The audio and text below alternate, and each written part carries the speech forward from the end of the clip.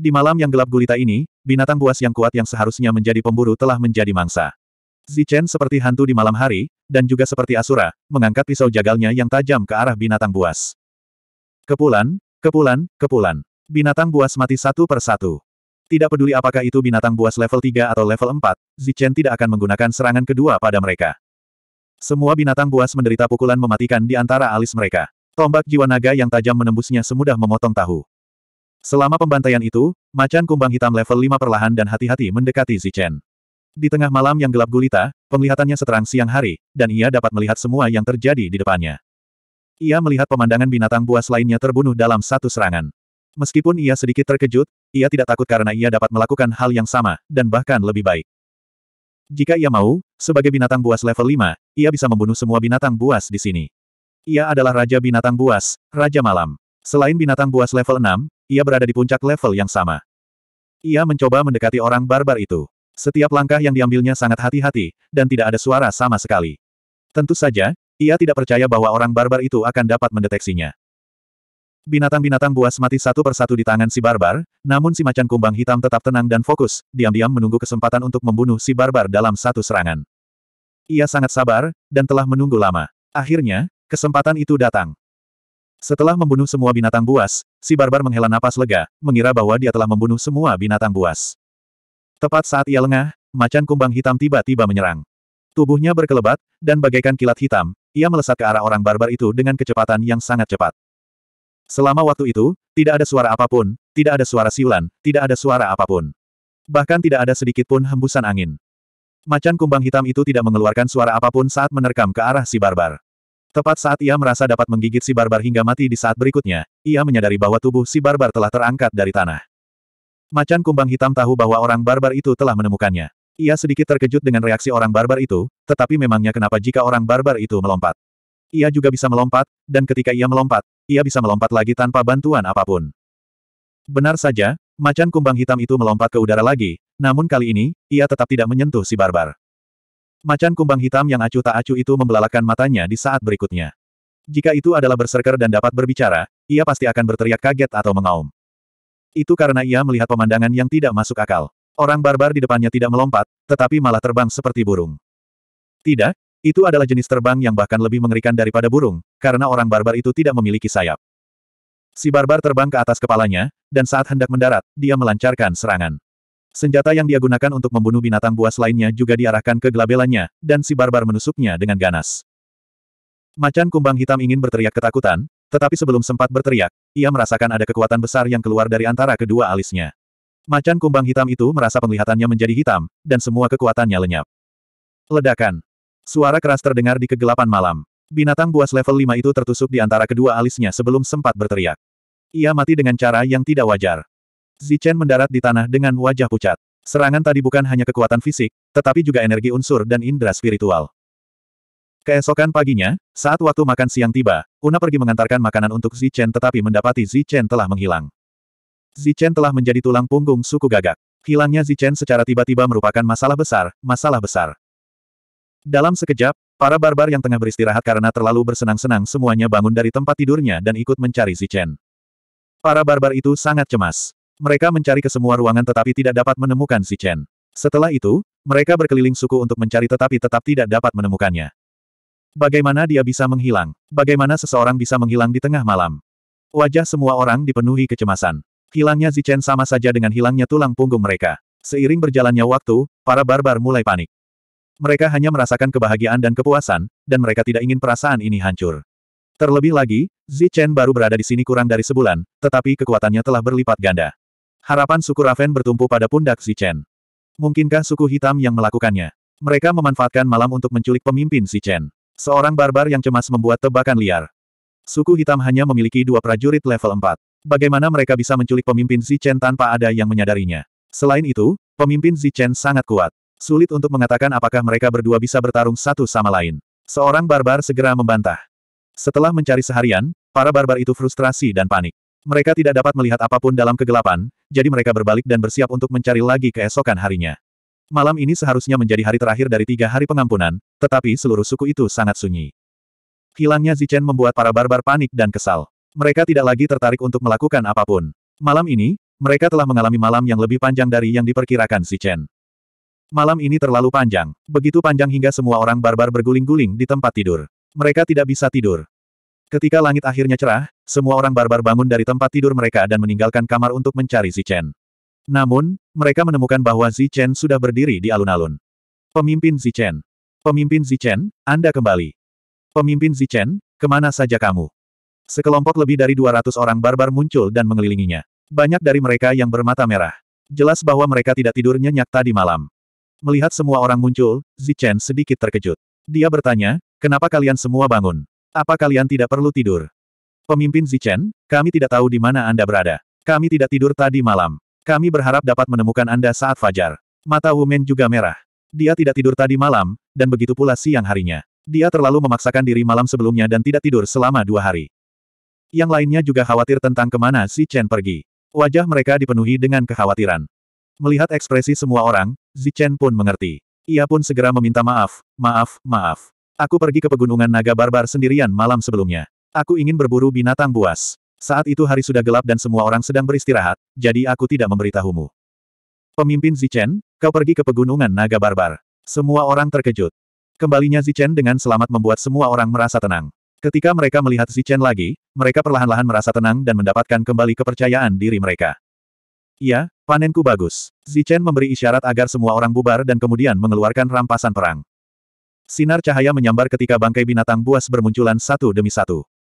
Dalam sehari dua malam, Zichen telah membunuh lebih dari 30 binatang buas. Di antara mereka, ada 15 binatang buas level 3, 2 binatang buas level 5, dan 15 binatang buas level 4. Melihat begitu banyak binatang buas, kelompok barbar itu tercengang. Namun, setelah Zichen memperkenalkan mereka, kelompok barbar itu menunjukkan tanda-tanda menjadi membatu. Sebenarnya ada 15 binatang buas level 4 dan 2 binatang buas level 5.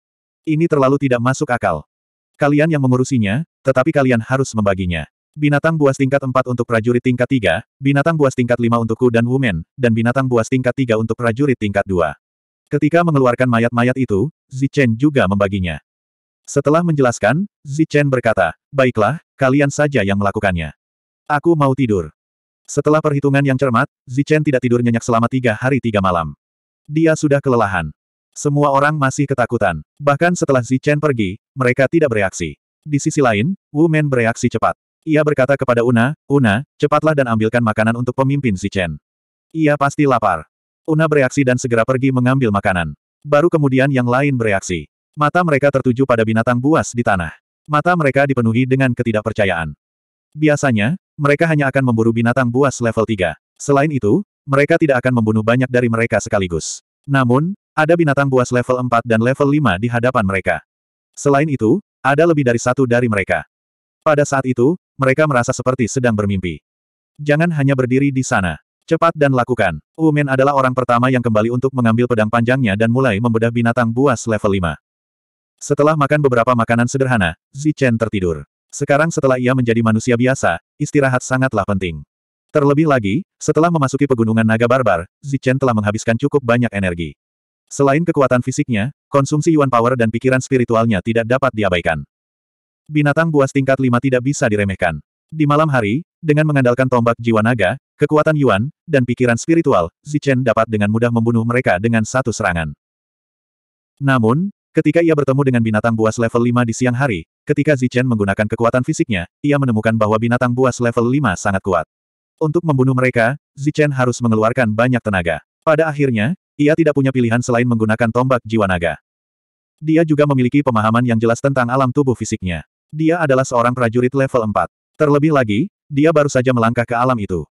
Zichen tidur seharian penuh. Ia baru bangun saat hari sudah gelap. Setelah makan lagi, Zichen duduk bersila di tempat tidur dan terus berlatih keterampilan bertarungnya. Ketika kekuatan fisik seseorang tidak kuat, seseorang harus memulai dari seni barbar jika mereka ingin meningkatkan kekuatan tempur mereka. Setelah mempelajari efek magis dari seni barbar, Zichen bahkan lebih penasaran dengan apa yang disebut patung dewa binatang. Langit cerah. Setelah berlatih seni barbar sepanjang malam, Zichen bangun. Setelah mandi, dia berjalan menuju alun-alun. Di sana, Wu Men dan lima prajurit level 3 lainnya telah tiba. Mereka tahu bahwa Zichen akan mengajari mereka keterampilan bertarung. Wajah mereka dipenuhi dengan antisipasi. Zichen berjalan ke alun-alun, menatap kelima orang itu, dan berkata, sebelum aku mengajarkanmu seni barbar tingkat 3, kamu harus menggunakan setidaknya 90% dari seni barbar tingkat 2. Dengan cara ini, saat kamu berlatih seni barbar tingkat 3, usahamu akan dua kali lipat dengan hasil setengah. Keenam orang itu mengangguk berulang kali. Kemudian, Zichen berdiri di depan keenam orang itu dan menggunakan kecepatan yang sangat lambat untuk melatih seni barbar tingkat 3 bagi mereka. 782. Seni barbar tingkat ketiga sedikit lebih rumit. Zichen mendemonstrasikannya kepada enam orang sebanyak tiga kali dengan gerakan lambat hingga keenamnya mengangguk, menunjukkan bahwa mereka telah mengingat setiap detailnya. Baiklah, sekarang aku akan menunjukkan kepadamu kondisi terkuat dari seni barbar ini. Begitu dia selesai berbicara, aura di sekitar tubuh Zichen langsung berubah. Kekuatan di dalam tubuhnya mulai melonjak dan cahaya kemasan memenuhi tubuhnya. Cahaya tinju muncul di tinju Zichen. Dia tidak perlu dengan sengaja melakukan pukulan ini. Semua orang bisa merasakan kekuatan besar yang terkandung dalam pukulan ini. Terlebih lagi, pukulan ini jelas merupakan seni barbar tingkat keempat. Di antara keenam orang itu, yang paling bersemangat tentu saja Wumen. Sejak ayahnya menghilang, seni barbar tingkat keempat akhirnya muncul di suku Raven. Selain itu, itu adalah seni barbar tingkat keempat yang bisa digunakan oleh prajurit tingkat ketiga. Begitu keenamnya menguasainya, kekuatan tempur mereka akan meningkat beberapa kali lipat. Saat berikutnya mereka bertemu dengan binatang barbar tingkat keempat, mereka akan dapat membunuhnya. Ingat detail ini. Namun sebelum itu, kamu perlu berlatih seni barbar tingkat kedua hingga 90% selesai. Tentu saja, puncaknya akan menjadi yang terbaik. Begitu kamu merasakan mencapai puncaknya, kamu akan dapat menguasai seni barbar tingkat ketiga dengan lebih cepat. Setelah mendemonstrasikannya empat kali, Zichen berbalik dan pergi. Selanjutnya, tibalah saatnya bagi keenam orang itu untuk berlatih sendiri-sendiri. Selain mereka berenam, para barbarian lainnya juga muncul dan mulai berlatih seni barbarian tingkat kedua. Zichen kembali ke kamarnya dan terus berlatih seni barbar untuk meningkatkan kekuatannya. Waktu berlalu dengan cepat. Setengah bulan kemudian, Zichen akhirnya berhasil mencapai terobosan dalam mempelajari seni barbar. Selain itu, ia juga membuat kemajuan besar dalam meningkatkan kekuatannya. Di antara suku gagak, Wu Men juga telah mempraktikkan seni barbar tingkat kedua hingga mencapai puncaknya dan mulai mempraktikkan seni barbar tingkat ketiga. Kemajuannya sangat cepat. Selain itu, tiga prajurit tingkat ketiga juga telah membuat kemajuan besar. Mereka telah mempraktikkan 90% kekuatan seni barbar tingkat kedua. Orang lain yang telah berlatih seni barbar 90% adalah Wula. Sebagai prajurit tingkat kedua, Una juga telah berlatih seni barbar 80%. Kemajuannya sangat cepat. Dalam pertempuran normal, hanya ada sedikit prajurit tingkat kedua yang mampu menekan Una. Setengah bulan kemudian, Zichen muncul dan menemui Wumen untuk bertanya tentang suku hitam. Ketua Zichen, apakah kita akan bersaing untuk mendapatkan kepemilikan patung Dewa Barbar? Mata Wumen berbinar. Ceritakan padaku tentang klan hitam terlebih dahulu. Berapa banyak ahli yang mereka miliki? Tanya Zichen. Klan mereka hanya memiliki dua prajurit tingkat empat. Jika kita berdua pergi, kita pasti bisa menekan mereka. Umen tampak sangat percaya diri. Dua prajurit tingkat empat. Kapan ini terjadi? Apakah akan ada terobosan dalam waktu dekat? Tanya Zichen. Itu lebih dari satu dekade yang lalu. Umen menceritakan kepada Zichen tentang apa yang terjadi lebih dari sepuluh tahun yang lalu. Saat itu, mereka sedang berburu ketika suku hitam tiba-tiba menyerang. Mereka membunuh para gagak yang melawan dan merampok orang tua dan anak-anak. Hanya sebagian kecil dari mereka yang berhasil melarikan diri. Pada saat itu, salah satu prajurit tingkat empat suku gagak pergi untuk berunding dengan mereka, tetapi dia terluka parah dan kembali. Ketika dia kembali, dia memberitahu mereka bahwa suku hitam memiliki dua prajurit tingkat empat.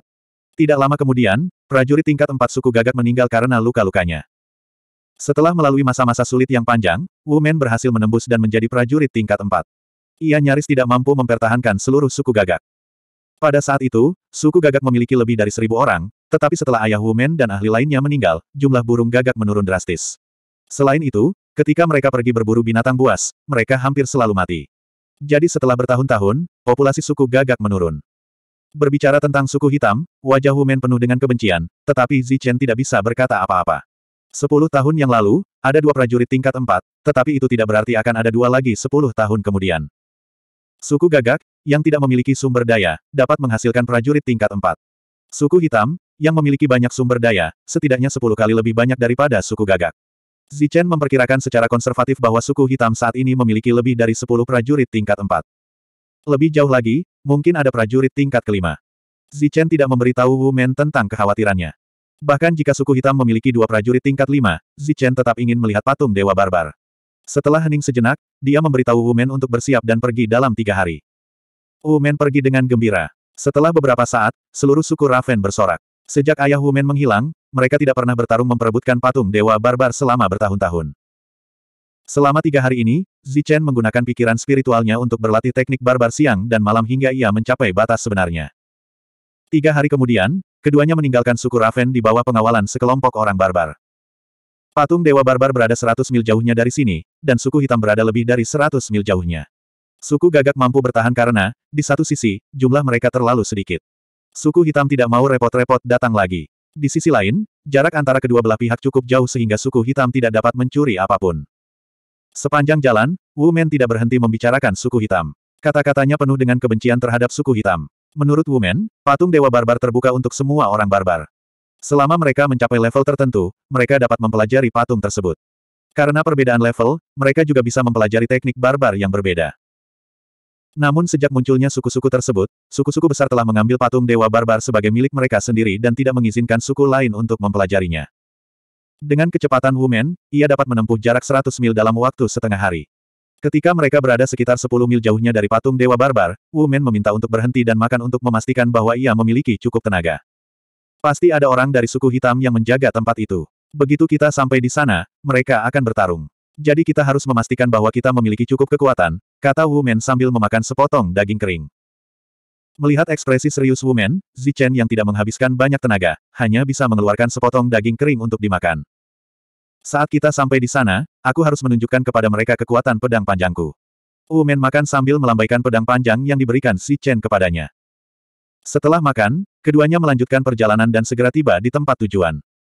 Dari kejauhan, Zichen dapat melihat patung Dewa Barbar. Patung itu adalah patung barbar yang sangat tinggi, setidaknya puluhan meter tingginya.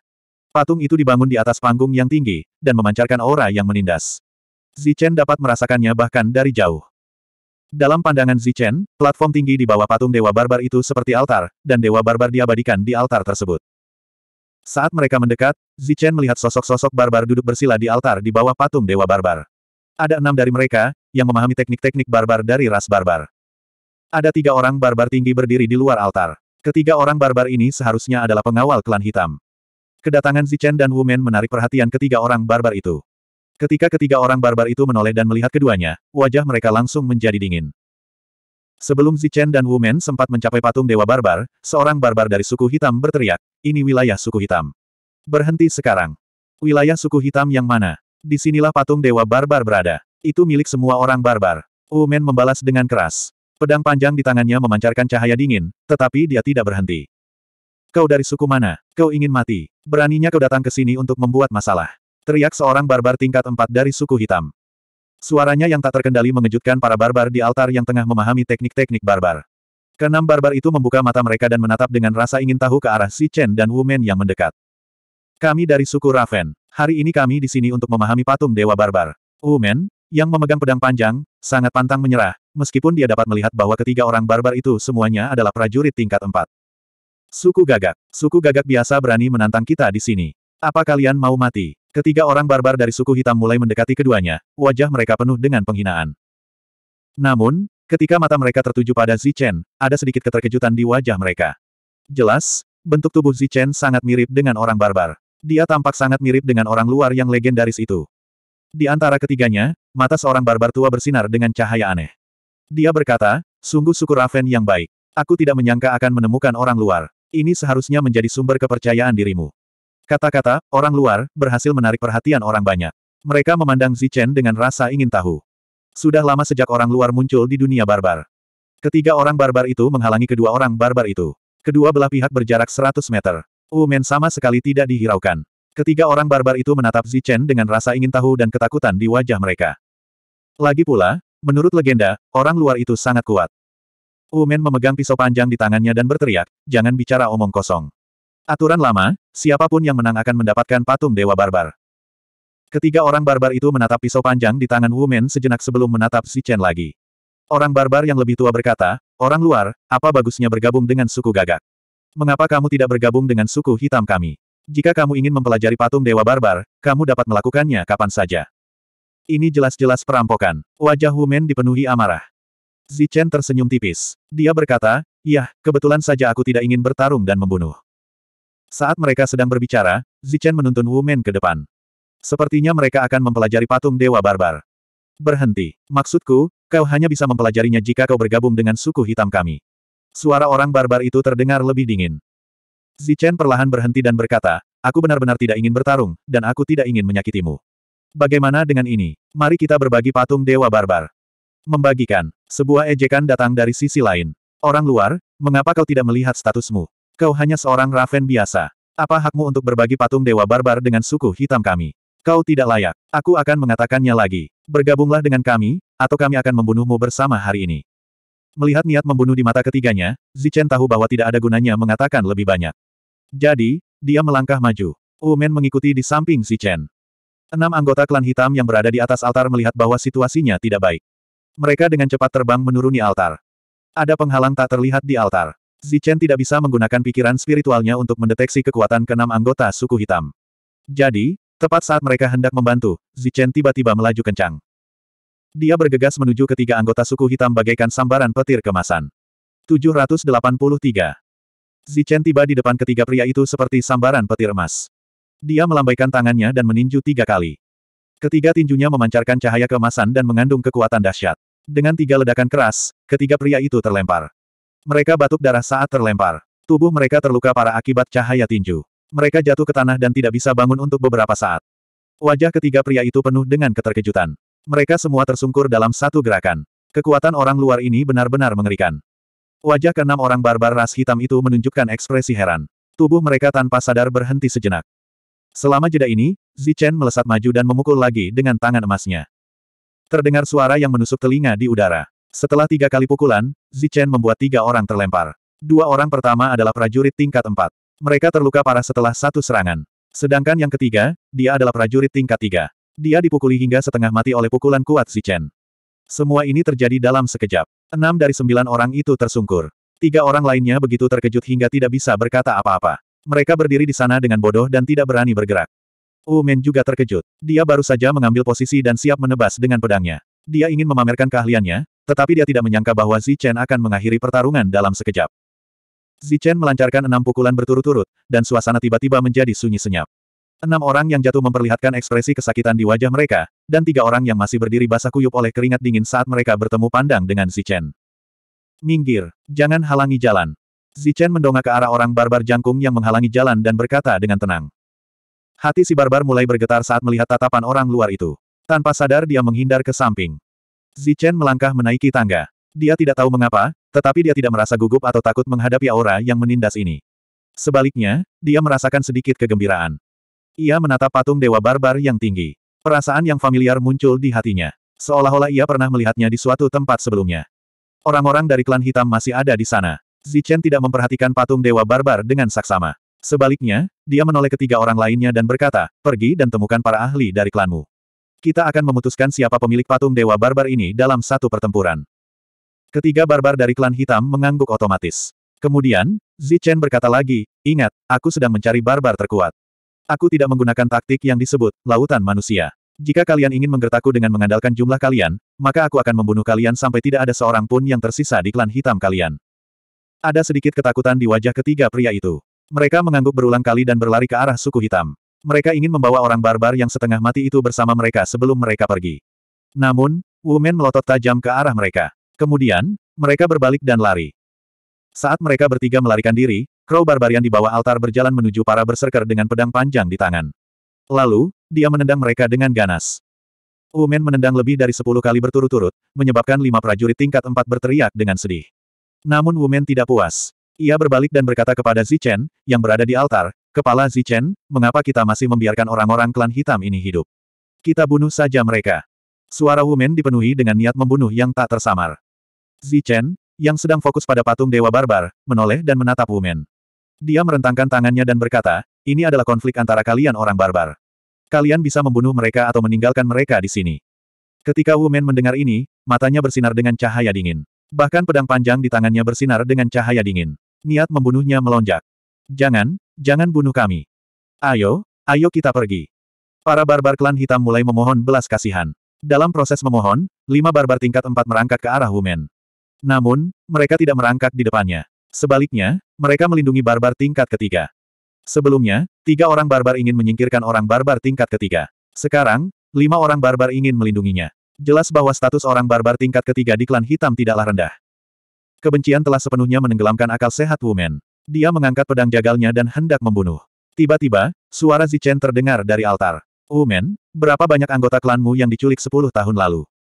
Wumen terkejut. Ia tidak mengerti mengapa Zichen tiba-tiba menanyakan hal ini. Namun, ia berkata dengan jujur, termasuk orang tua dan anak-anak, jumlahnya lebih dari 400. Kalau begitu, bisakah kau menebak bagaimana keadaan mereka? Zichen bertanya lagi. Ketika Wumen mendengar ini, kemarahan di wajahnya bertambah. Dia berkata dengan marah, aku tidak perlu menebak untuk tahu bahwa mereka menjalani kehidupan yang lebih buruk daripada anjing dan babi. Para bajingan ini pasti telah memperlakukan mereka sebagai budak dan menyiksa mereka. Aku akan memotong bajingan ini sekarang. Umen dengan ganas meludahkan dahak ke tanah. Kemudian, dia mengangkat pedangnya. Pedang itu menyala saat dia bersiap untuk menebas. Karena mereka tidak melakukannya dengan baik, mengapa kamu tidak menggunakan sampah-sampah ini untuk menukarkannya? Pedang di tangan Wumen berhenti di leher seorang barbar tingkat 4. Sebelumnya, dia masih marah, tetapi setelah berhenti, wajahnya dipenuhi rasa bersalah. Saat ini, dia hanya ingin melampiaskan amarahnya. Dia telah melupakan kehidupan anggota klannya. Rasa bersalah yang mendalam muncul dari lubuk hatinya. Umen menyingkirkan pedangnya dan membungkuk dalam-dalam kepada Zichen. Matanya dipenuhi rasa terima kasih. Zichen melambaikan tangannya dan tersenyum. Cukup, cepat kemari dan rasakan aura Dewa Barbar. Umen terkejut. Dia menunjuk ke enam orang barbar suku hitam dan bertanya, bagaimana dengan mereka? Mereka akan tinggal di sana. Bagaimana jika mereka melarikan diri? Senyum di wajah Chen semakin lebar, tetapi suaranya sangat dingin. Jika mereka mencoba melarikan diri, bunuh saja mereka semua. Paling buruk, kita akan pergi ke suku Raven dan menangkap beberapa dari mereka untuk ditukar dengan anggota klanmu. Hati para barbar ras hitam bergetar ketika mereka mendengar ini. Ada terlalu banyak legenda tentang orang luar. Namun, masing-masing legenda ini adalah tentang betapa kuatnya orang luar. Tentu saja, di balik legenda yang kuat ini ada pembantaian berdarah dan kejam. Di antara banyak legenda, ada satu legenda yang menyebutkan bahwa orang luar tidak memperlakukan orang barbar sebagai manusia. Mereka memperlakukan orang barbar seperti budak dan membunuh mereka kapan pun mereka mau. Setelah memikirkan legenda ini, tidak seorang pun berani mempertanyakan kata-kata Zichen. Umen berjalan ke altar. Ini adalah pertama kalinya dia datang ke sini. Ketika dia merasakan aura dewa barbar dari dekat, dia hampir jatuh ke tanah. Matanya dipenuhi dengan rasa hormat terhadap patung itu. Dibandingkan dengan Wumen, Zichen jauh lebih santai. Dia diam-diam menatap patung di depannya. Pada saat ini, Zichen tidak dapat melihat seluruh patung dengan matanya. Namun, setelah melepaskan indera spiritualnya, dia dapat melihat seluruh patung dalam sekejap. Ini adalah seorang barbarian yang sangat agung. Tubuhnya terbungkus kulit binatang, tangannya terkepal, dan rambutnya berkibar karena marah. Tekanan Dewa Barbar membuat Wumen tidak dapat menggunakan indera spiritualnya. Tubuhnya tidak dapat menahan gemetar. Namun, situasi ini tidak berlangsung selama seperempat jam. Umen tampaknya telah merasakan sesuatu, dan ekspresinya perlahan menjadi tenang. Umen berdiri di altar, seolah-olah dia telah membatu. Dia menatap patung di depannya tanpa bergerak. Di bawah altar, ketika kelima barbarian tingkat keempat melihat pemandangan ini, wajah mereka penuh dengan keterkejutan. Seperti yang diketahui semua orang, untuk memahami teknik barbarian di depan patung Dewa Barbarian, seseorang harus duduk bersila, mengosongkan pikiran dan tubuh, dan mencoba merasakannya. Namun, setelah melakukan semua ini, akan butuh waktu yang sangat lama untuk merasakan teknik barbar dengan lancar. Ada yang beruntung dan bisa merasakannya dalam tiga hingga lima hari, tetapi ada yang perlu tinggal di sini selama delapan hingga sepuluh hari, atau bahkan beberapa bulan. Namun, mereka belum pernah mendengar orang yang tidak siap seperti itu dapat merasakannya dalam seperempat jam. Terlebih lagi, tidak pernah ada keberadaan seperti itu di suku hitam. Sama seperti Wumen yang merasakan seni berserker dari patung Dewa Berserker, indera spiritual Zichen juga merasakan riak aneh dari patung Dewa Berserker. Indera spiritual yang dilepaskannya menangkap riak aneh itu tepat pada waktunya. Di tengah fluktuasi aneh ini, Zichen melihat sosok seorang barbarian yang tinggi. Barbarian itu sedang berlatih teknik tinjunya di udara. Ini adalah teknik tinju yang dapat memobilisasi kekuatan dalam tubuh.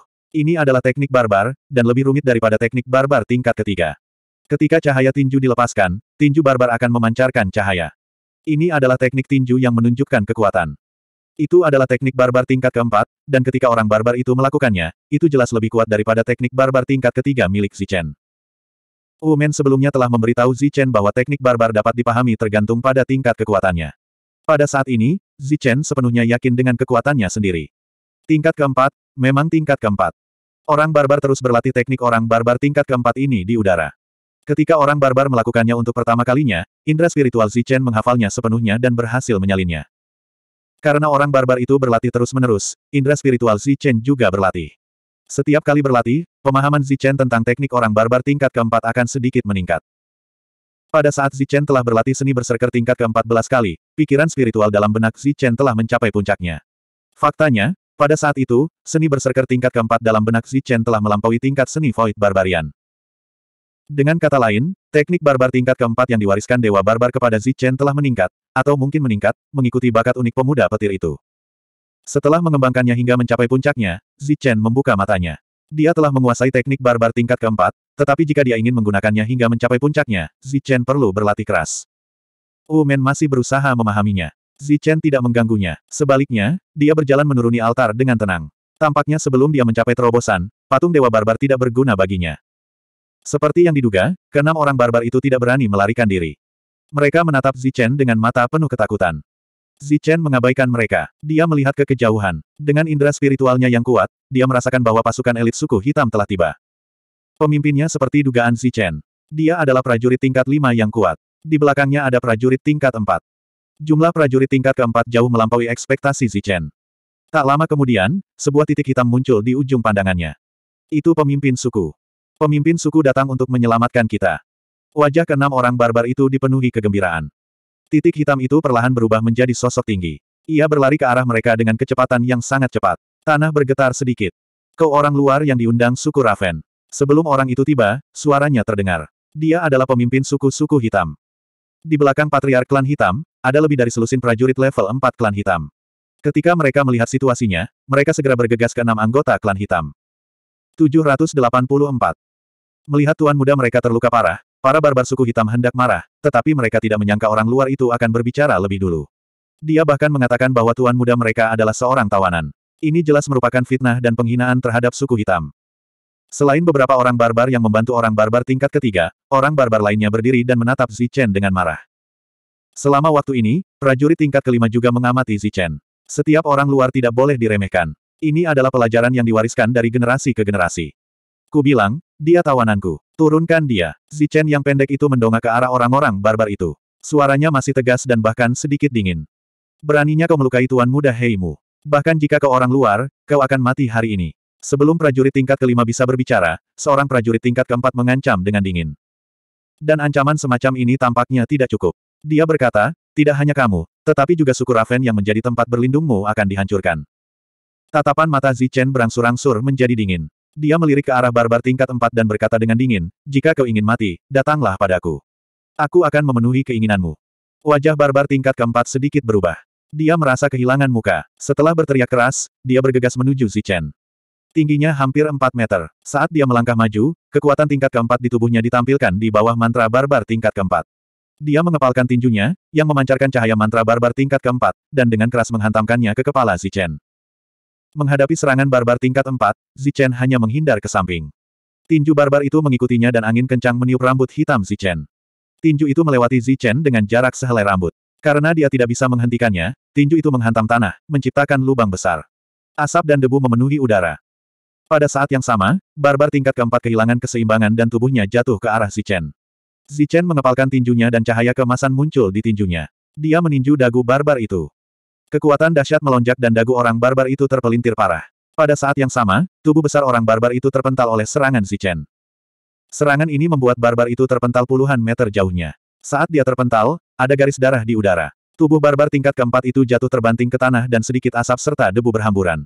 Dia tidak bangkit lagi setelah jatuh. Satu pukulan membunuh seorang barbar. Di depan mereka, para barbar yang marah. Wajah mereka dipenuhi dengan keterkejutan ketika mereka melihat rekan mereka terbunuh. Mereka telah mendengar berita bahwa orang luar ini mengandalkan kecepatannya. Namun mereka tidak menyangka dia mampu membunuh musuhnya. Mereka tidak menyangka dia begitu kuat untuk membunuh musuhnya hingga membunuhnya.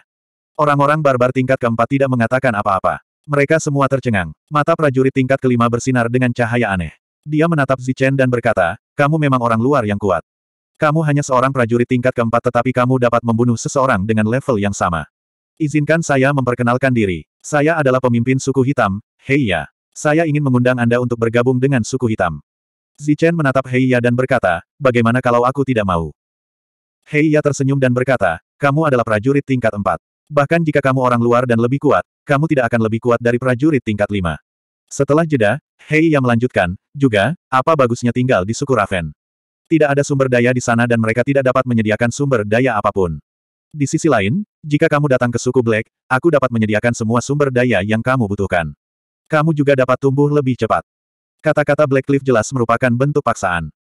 Namun, Zichen mencibir dan berkata dengan nada sarkastis, jika aku tidak salah, klan hitammu seharusnya hanya memiliki satu prajurit peringkat lima. Sumber daya apa yang bisa kau ambil? Hei ya tidak marah dengan ejekan Zichen. Dia menatap Zichen dan tersenyum, karena kamu telah datang ke dunia orang-orang barbar, kamu seharusnya memiliki sedikit pemahaman tentang binatang buas. Bagaimana menurutmu jika aku memberimu darah binatang buas tingkat kelima untuk membersihkan tubuhmu? Aku juga akan membiarkanmu makan daging tingkat kelima setiap hari. Perlakuan macam apa yang kamu terima di suku Raven? Kurasa kamu bahkan tidak bisa makan daging tingkat ketiga setiap hari. Wajah Heiya penuh percaya diri. Itu hanya suku Raven. Apa yang bisa mereka lakukan? Jika bukan karena fakta bahwa menghancurkan suku Raven adalah pemborosan sumber daya, suku Raven pasti sudah punah sejak lama.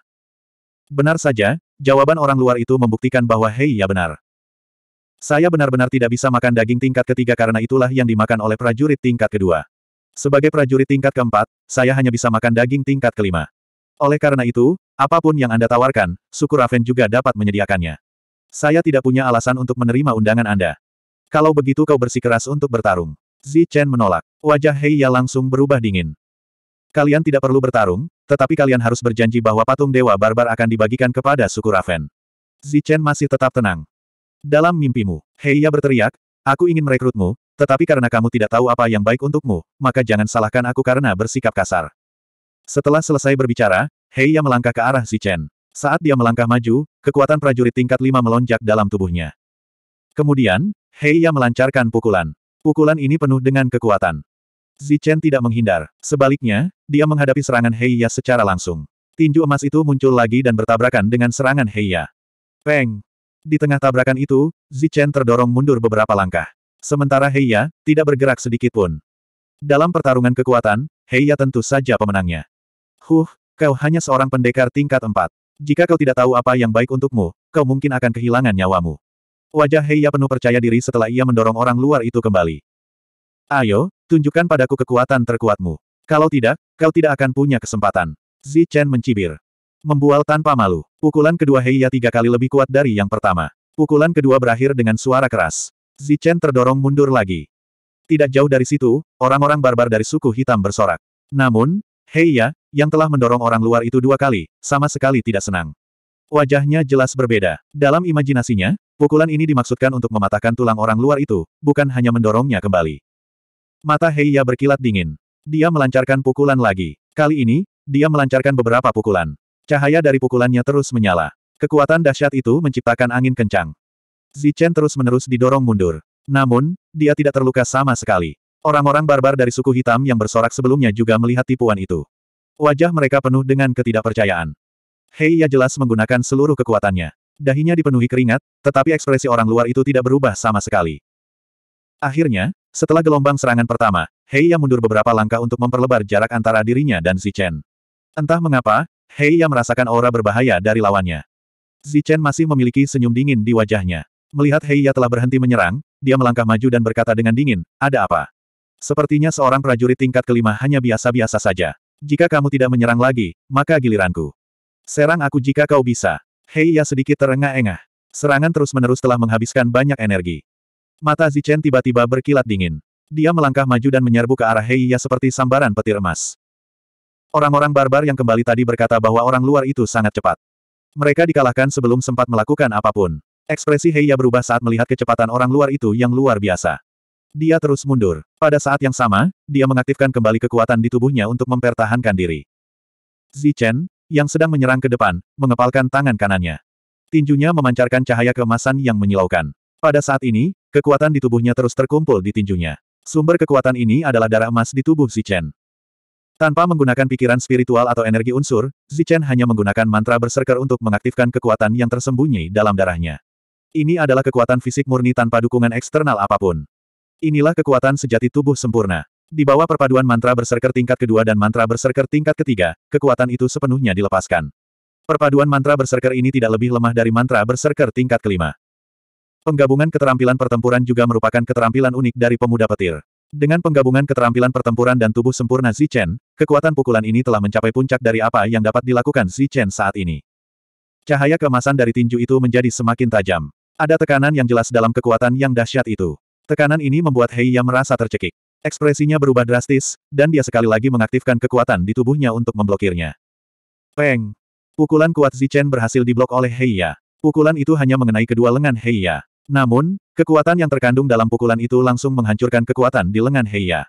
Kemudian, terdengar suara tulang patah. Kedua lengan Heiya hancur oleh kekuatan Zichen, dan tubuhnya yang tinggi terlempar ke belakang. Kali ini, Heiya bahkan lebih parah. Dia terlempar ke belakang puluhan meter sebelum mendarat dengan keras di tanah. Semua orang tercengang. Bahkan Wumen, yang baru saja mempelajari mantra berserker, melihat semua ini dengan tak percaya.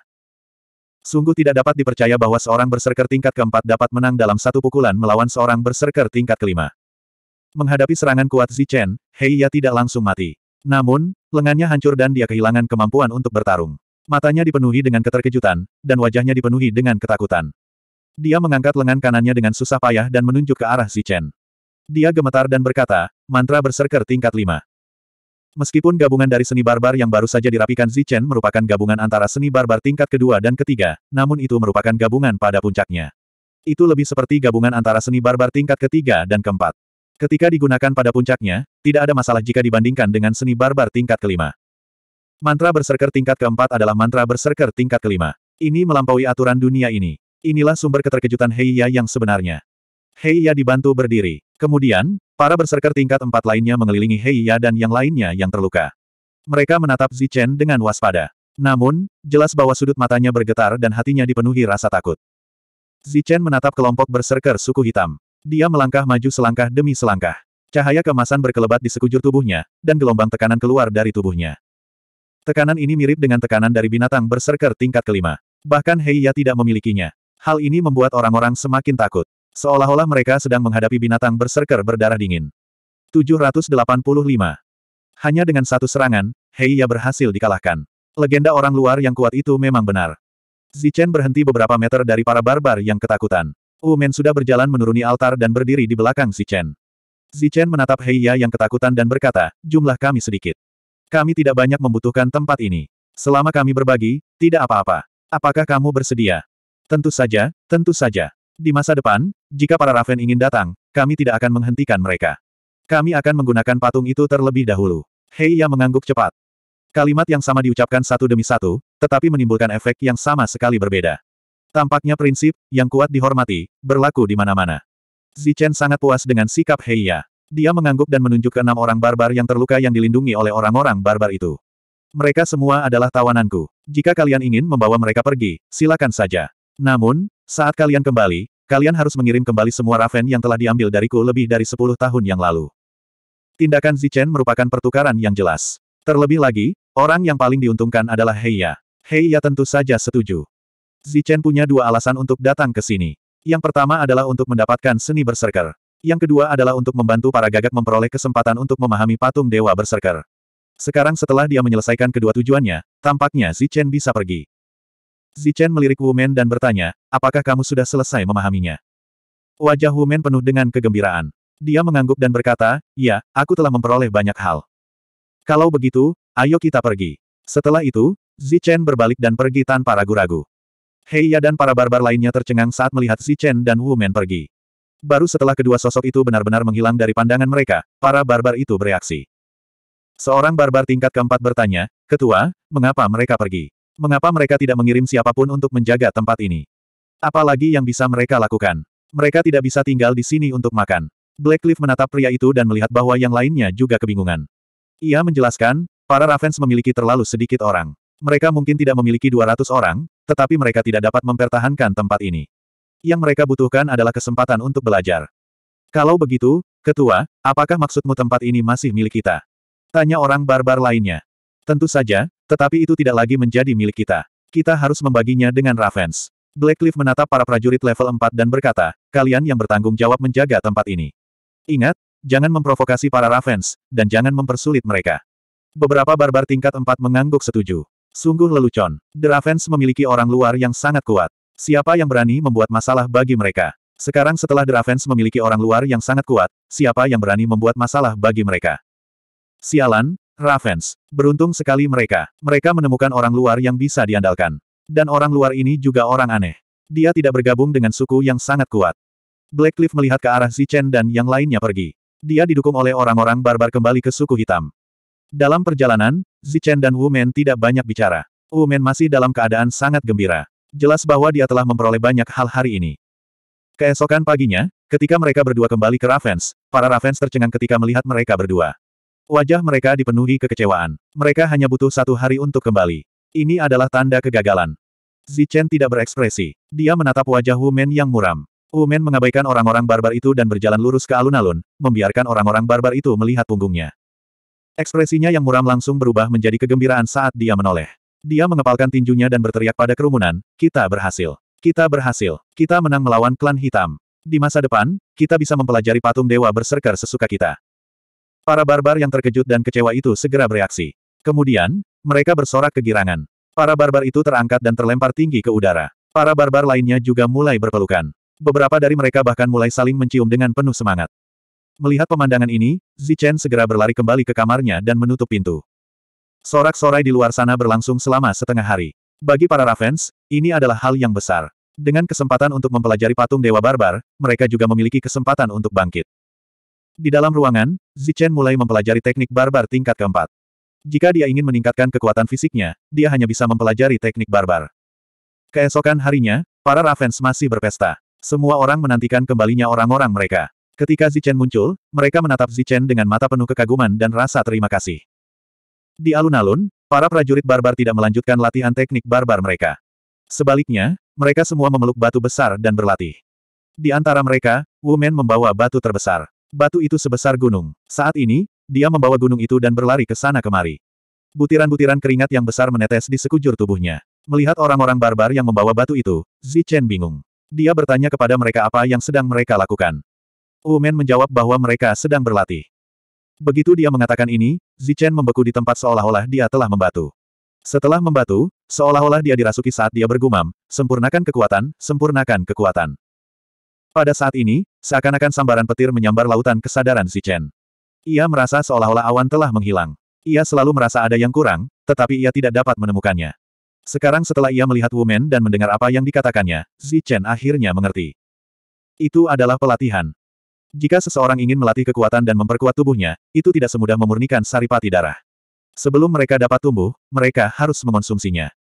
Di masa lalu, Zichen selalu ingin memurnikan segala macam hal karena indera spiritual dan kekuatan unsurnya.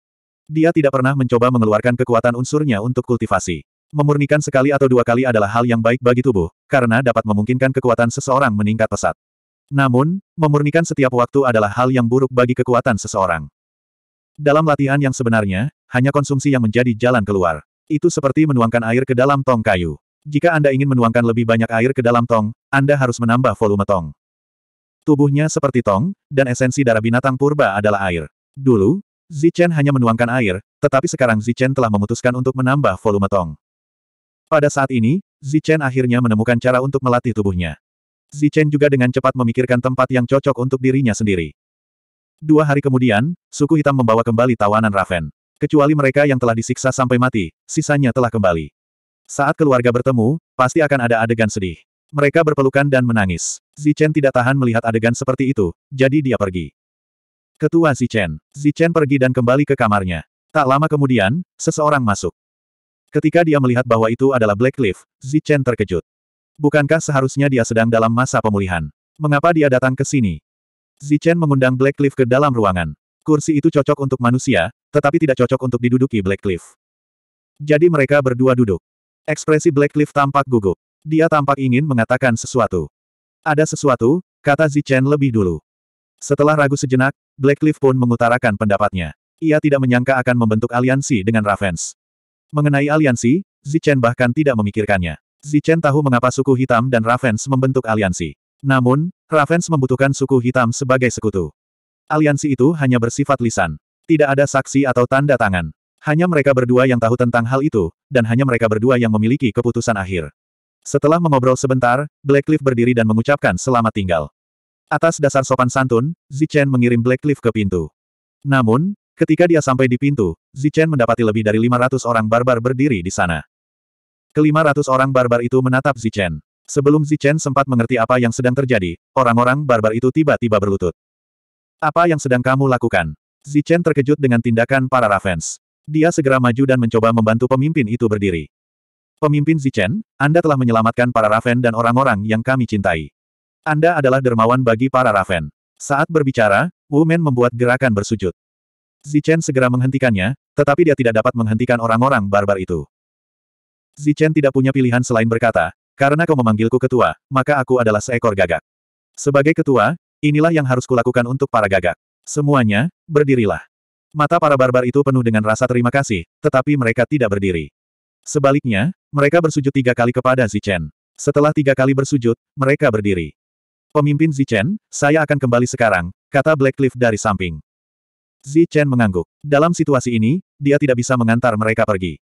Dengan jumlah penduduk yang sangat banyak, tentu saja mereka membutuhkan lebih banyak makanan. Makanan yang awalnya cukup untuk dimakan suku tersebut selama lebih dari dua bulan berkurang drastis karena jumlah penduduknya telah bertambah lebih dari setengahnya. Dua hari kemudian, di bawah pimpinan Zichen, puluhan orang barbar pergi berburu. Perlu disebutkan bahwa di antara orang-orang barbar itu, ada seorang wanita. Wanita itu adalah Una. Sebagai prajurit tingkat dua, dia tampak lebih kuat daripada kebanyakan prajurit pria. Selain itu, Zichen tidak tahan diganggu olehnya, jadi dia membuat pengecualian dan setuju untuk membawanya bersamanya. Dalam perburuan ini, ada banyak gagak yang kuat, jadi mereka memiliki banyak keuntungan. Selama waktu ini, Zichen pergi ke kedalaman suku dan membunuh dua binatang tingkat kelima. Sedangkan untuk binatang tingkat keempat, mereka dibunuh oleh Wumen dan yang lainnya. Karena Zichen telah mengajarkan mereka teknik barbar, kekuatan tempur para barbar meningkat pesat. Selain itu, Zichen telah memurnikan bubuk yang dapat menyembuhkan luka, sehingga tingkat kematian para barbar menurun drastis. Setelah tiga hari, mereka telah memburu lebih dari 500 orang barbar dan persediaan makanan untuk setengah bulan. Mereka memutuskan untuk kembali. Ini untukmu. Jika terjadi sesuatu pada suku ini, hancurkan saja. Sebelum mereka kembali, Zichen memberikan Wumen sebuah liontin giok. Ketua Zichen, kau tidak akan kembali. Wumen, yang membawa mayat binatang tingkat kelima, bertanya. Ketika orang-orang barbar lainnya mendengar ini, mereka semua memandang Zichen. Zichen menggelengkan kepalanya dan berkata, tidak, aku ingin tinggal di sini dan berlatih. Tempat ini lebih cocok untukku. Dan kau, setelah menyelesaikan masalah suku, kau bisa datang menemuiku di sini. Sebagai prajurit tingkat empat, mengangkat batu sepanjang hari tidak akan banyak membantu. Mendengar bahwa Zichen hanya akan berlatih dan tidak pergi, semua orang barbar menghela napas lega. Setelah mengingatkan Zichen untuk berhati-hati, mereka semua membawa sumber daya dan menuju Ravens. 786. Zichen memasuki kedalaman pegunungan naga barbar sendirian. Dia ingin melatih kekuatannya di sini. Tentu saja, metode pelatihan ini tidak seperti metode Wumen yang mencari gunung dan berlarian. Zichen ingin mencari binatang buas level 5. Untuk menghabiskan kekuatannya, Zichen hanya bisa mencari binatang buas level 5 sebagai rekan latihannya. Keberuntungan Zichen cukup bagus. Hanya dalam waktu setengah hari, ia menemukan seekor binatang buas level 5. Selain itu, itu adalah seekor banteng barbar yang memiliki spesialisasi dalam kekuatan. Seekor banteng barbar biasa dapat tumbuh menjadi binatang buas level 4 sudah merupakan hal yang luar biasa. Namun, Zichen menemukan binatang buas level 5, yang bahkan lebih menakjubkan. Ketika Zichen melihat banteng barbar, yang terakhir juga memperhatikannya. Mata besar banteng barbar menatap Zichen sambil terengah-engah. Zichen membuat gerakan yang sangat provokatif terhadap banteng barbar. Banteng barbar itu marah dan bergegas menuju Zichen. Zichen juga bergegas menuju Barbarian Bull di saat berikutnya. Kemudian, keduanya mulai bergulat. Zichen mencengkeram kedua tanduk banteng barbar dan dengan kuat menahan serangan lawan. Keduanya seperti banteng yang bertarung, maju mundur. Ini adalah metode pelatihan Zichen. Kekuatan banteng barbar level 5 jauh lebih kuat daripada Zichen. Ia juga bisa bertahan lebih lama dari Zichen. Ketika kekuatannya habis, Zichen akan menggunakan kecepatan ekstremnya untuk melarikan diri. Setelah sampai di tempat yang aman, Zichen mulai makan untuk memulihkan tenaganya. Setelah tenaganya pulih, Zichen akan kembali mencari Barbarian Bull. Dalam sekejap mata, lima hari telah berlalu. Zichen dapat dengan jelas merasakan kekuatan di tubuhnya meningkat dengan cepat. Jika ini terus berlanjut, Zichen akan segera dapat menerobos. Setelah hari ke-10, Zichen, yang telah bergulat dengan banteng barbar sepanjang hari, tidak hanya merasakan kekuatannya meningkat, ia juga merasakan rasa lapar yang jelas di tubuhnya. Rasa lapar ini tidak hanya mengacu pada perutnya, tetapi juga ke seluruh bagian tubuhnya. Ini adalah hasil dari peningkatan potensi tubuh Zichen tetapi tidak mampu mengisi ulang energinya secara efektif. Itu seperti tong kayu yang membesar tetapi tidak cukup air yang dituangkan ke dalamnya, membuatnya tampak sangat kosong. Penemuan ini membuat Zichen sangat gembira. Jadi, setelah menemukan tempat yang aman, Zichen mulai memurnikan darah esensi binatang purba. Ini adalah saripati darah binatang purba tingkat raja dan binatang buas tingkat lima. Setelah dimurnikan, mereka berubah menjadi energi murni yang memasuki tubuh Zichen dan diserap oleh Zichen. Setelah menghabiskan puluhan tetes saripati darah, rasa lapar di tubuh Zichen perlahan menghilang. Ketika Zichen berdiri lagi, dia menemukan bahwa kekuatan di tubuhnya telah meningkat hampir 10%. Penemuan ini membuat Zichen sangat gembira hingga dia hampir melompat. Karena itu, tanpa berkata apa-apa, dia pergi mencari Barbarian Bull lagi. Ketika banteng barbar melihat Zichen, matanya dipenuhi rasa takut. Ia berbalik dan ingin melarikan diri. Zichen telah menyiksanya selama sepuluh hari terakhir. Zichen dengan cepat mengejarnya, meraih tanduknya, dan mulai bergulat dengannya. Zichen, yang kekuatannya telah meningkat pesat, mengangkat Barbarian Bull selama gulat dan terus membantingnya. Barbarian Bull sangat marah dan mengerahkan seluruh kekuatannya, tetapi tetap tidak dapat menekan Zichen. Setelah seluruh kekuatannya habis, Zichen melepaskan Barbarian Bull. Jelas, Seiring dengan meningkatnya kekuatannya, lawannya harus berubah. Jika tidak, kemajuannya tidak akan bagus. Setelah menunggu selama 10 hari, Wu Men masih belum datang. Tidak mungkin dia akan datang, jadi Zichen terus menjelajah lebih dalam. Sehari kemudian, Zichen menemukan lawan baru. Ini adalah manusia harimau. Tingkat kekuatannya sedikit lebih tinggi dari Barbarian Bull, sekitar level puncak 5. Saat bertanding dengan Men Tiger, Zichen jelas tidak memiliki keunggulan. Kekuatan tubuh sempurnanya telah dikuras habis oleh Men Tiger dalam waktu kurang dari satu jam. Tepat saat Zichen hendak melarikan diri, dia menyadari bahwa Men Tiger sedang mengejarnya. Selain itu, dia sangat cepat. Zichen tidak dapat melepaskan diri dari Men Tiger tidak peduli seberapa cepat dia berusaha. Tak berdaya, Zichen hanya bisa terbang menjauh. Melihat orang barbar itu terbang menjauh, mata Men Tiger dipenuhi dengan keterkejutan. Namun, dia bahkan lebih enggan. Dia meraung ke langit dan melepaskan Tiger Smite miliknya. Namun, satu jam kemudian, Men Tiger menemukan bahwa orang barbar tadi telah kembali. Ada sedikit kegembiraan di matanya yang ganas saat ia bergegas menuju Zichen. Zichen juga tidak mau kalah. Dia bergegas menuju Men Tiger dan mereka berdua bertarung lagi. Kali ini, Zichen tidak sebanding dengan Men Tiger dan segera melarikan diri. Zichen bola-balik beberapa kali sehari untuk mencari masalah dengan Men Tiger. Men Tiger juga kesal dan meraung hampir sepanjang hari dan malam. Zichen, yang telah pulih selama sehari semalam, merasa tubuhnya hancur berantakan. Dia tidak sabar untuk tidur. Namun, dia memaksakan diri untuk tidak tidur. Sebagai gantinya, dia mengeluarkan batu primal bermutu tinggi dan menggunakan seni harmoni yin yang untuk menyerap energi dari batu itu. Tingkat kultivasi Zichen tidak akan meningkat dengan cepat jika dia berkultivasi di area ini. Zichen juga tidak memiliki harapan berlebihan bahwa kekuatan esensinya akan mampu mencapai terobosan. Tujuannya melakukan itu adalah untuk membuat dirinya lebih bersemangat. Zichen mengonsumsi batu primal bermutu tinggi dalam satu malam. Energi dan staminanya pulih ke puncaknya. Setelah memakan sisa daging panggang dari kemarin, Zichen sekali lagi melanjutkan perjalanannya untuk menemukan Men Tiger. Ketika Zichen tiba, Men Tiger sedang menikmati hidangan lesat. Seharusnya itu adalah binatang buas tingkat 4, tetapi ketika melihat Zichen, matanya berubah merah. Pelecehan kemarin telah menyebabkan Men Tiger dipenuhi amarah. Ketika melihat Zichen, ia berhenti makan dan langsung menerkam ke arah Zichen. Dibandingkan dengan kemarin, Zichen tampaknya sedikit membaik. Dia mampu bertahan selama satu jam. Setelah itu, Zichen menghabiskan seluruh energinya dan melarikan diri lagi. Mengaum. Harimau itu meraung lagi. Sebelum mencapai Zichen, Zichen sudah melompat ke udara dan terbang menjauh. Kali ini, Men Tiger mengejar Zichen beberapa mil sebelum kembali dengan enggan. Harimau mesum terkutuk itu. Aku hanya ingin melatih kekuatanku. Apa perlu membunuhku? Setelah mendarat, Zichen mengutuk dan memulihkan energinya. Setelah beberapa saat, Zichen kembali ke sisi Men Tiger. Begitu saja, waktu mulai terulang kembali. Pada sepuluh hari pertama, Zichen menindas Barbarian Bull hingga ia tak dapat dikenali lagi. Pada sepuluh hari kedua, Zichen menyiksa Barbarian Tiger hingga Barbarian Tiger menjadi tak tertahankan. Pada akhirnya, Barbarian Tiger juga menjadi Barbarian Bull, dan setiap kali ia melihat Zichen, ia akan berbalik dan pergi. Tidak mudah bagi Zichen untuk menemukan lawan tanding yang kuat, jadi tentu saja dia tidak akan membiarkan Menhu pergi begitu saja. Jadi, dia menggunakan kecepatan ekstrim untuk menjerat Menhu sekali lagi. Setelah beberapa ronde, ketika Zichen menemukan Menhu lagi, mata Menhu kembali memerah. Tentu saja, kali ini, bukan kemarahan. Melainkan, itu adalah keluhan. Itu hampir seperti air mata. Harimau kecil, mari kita lanjutkan latihan hari ini. Zichen melangkah ke arah harimau kecil lagi. Men Tiger tahu bahwa ia tidak dapat berlari lebih cepat dari Zichen dan tidak dapat melarikan diri. Ia hanya dapat terus bergulat dengan orang barbar itu sampai Zichen kehabisan napas. Terlebih lagi, setelah setengah bulan bergulat, kekuatan fisik Zichen hampir menyamai Men Tiger. Setelah menghabiskan seluruh tenaganya, Zichen sekali lagi merasakan lapar di tubuhnya. Harimau kecil, terima kasih banyak. Zichen memeluk Little Tiger dan mencium keningnya. Dia mengabaikan ekspresi jijik Men Tiger dan berubah menjadi seberkas cahaya saat dia pergi. Ketika dia pergi, Zichen jelas-jelas tertawa riang. Puncak rank 5 Men Tiger bingung. Dia tidak mengerti mengapa barbarian itu begitu bahagia. Setelah setengah bulan bergulat, dia tahu bahwa barbarian itu memanfaatkannya untuk berlatih. Dia jelas memiliki kekuatan untuk membunuhnya, tetapi dia tidak bergerak.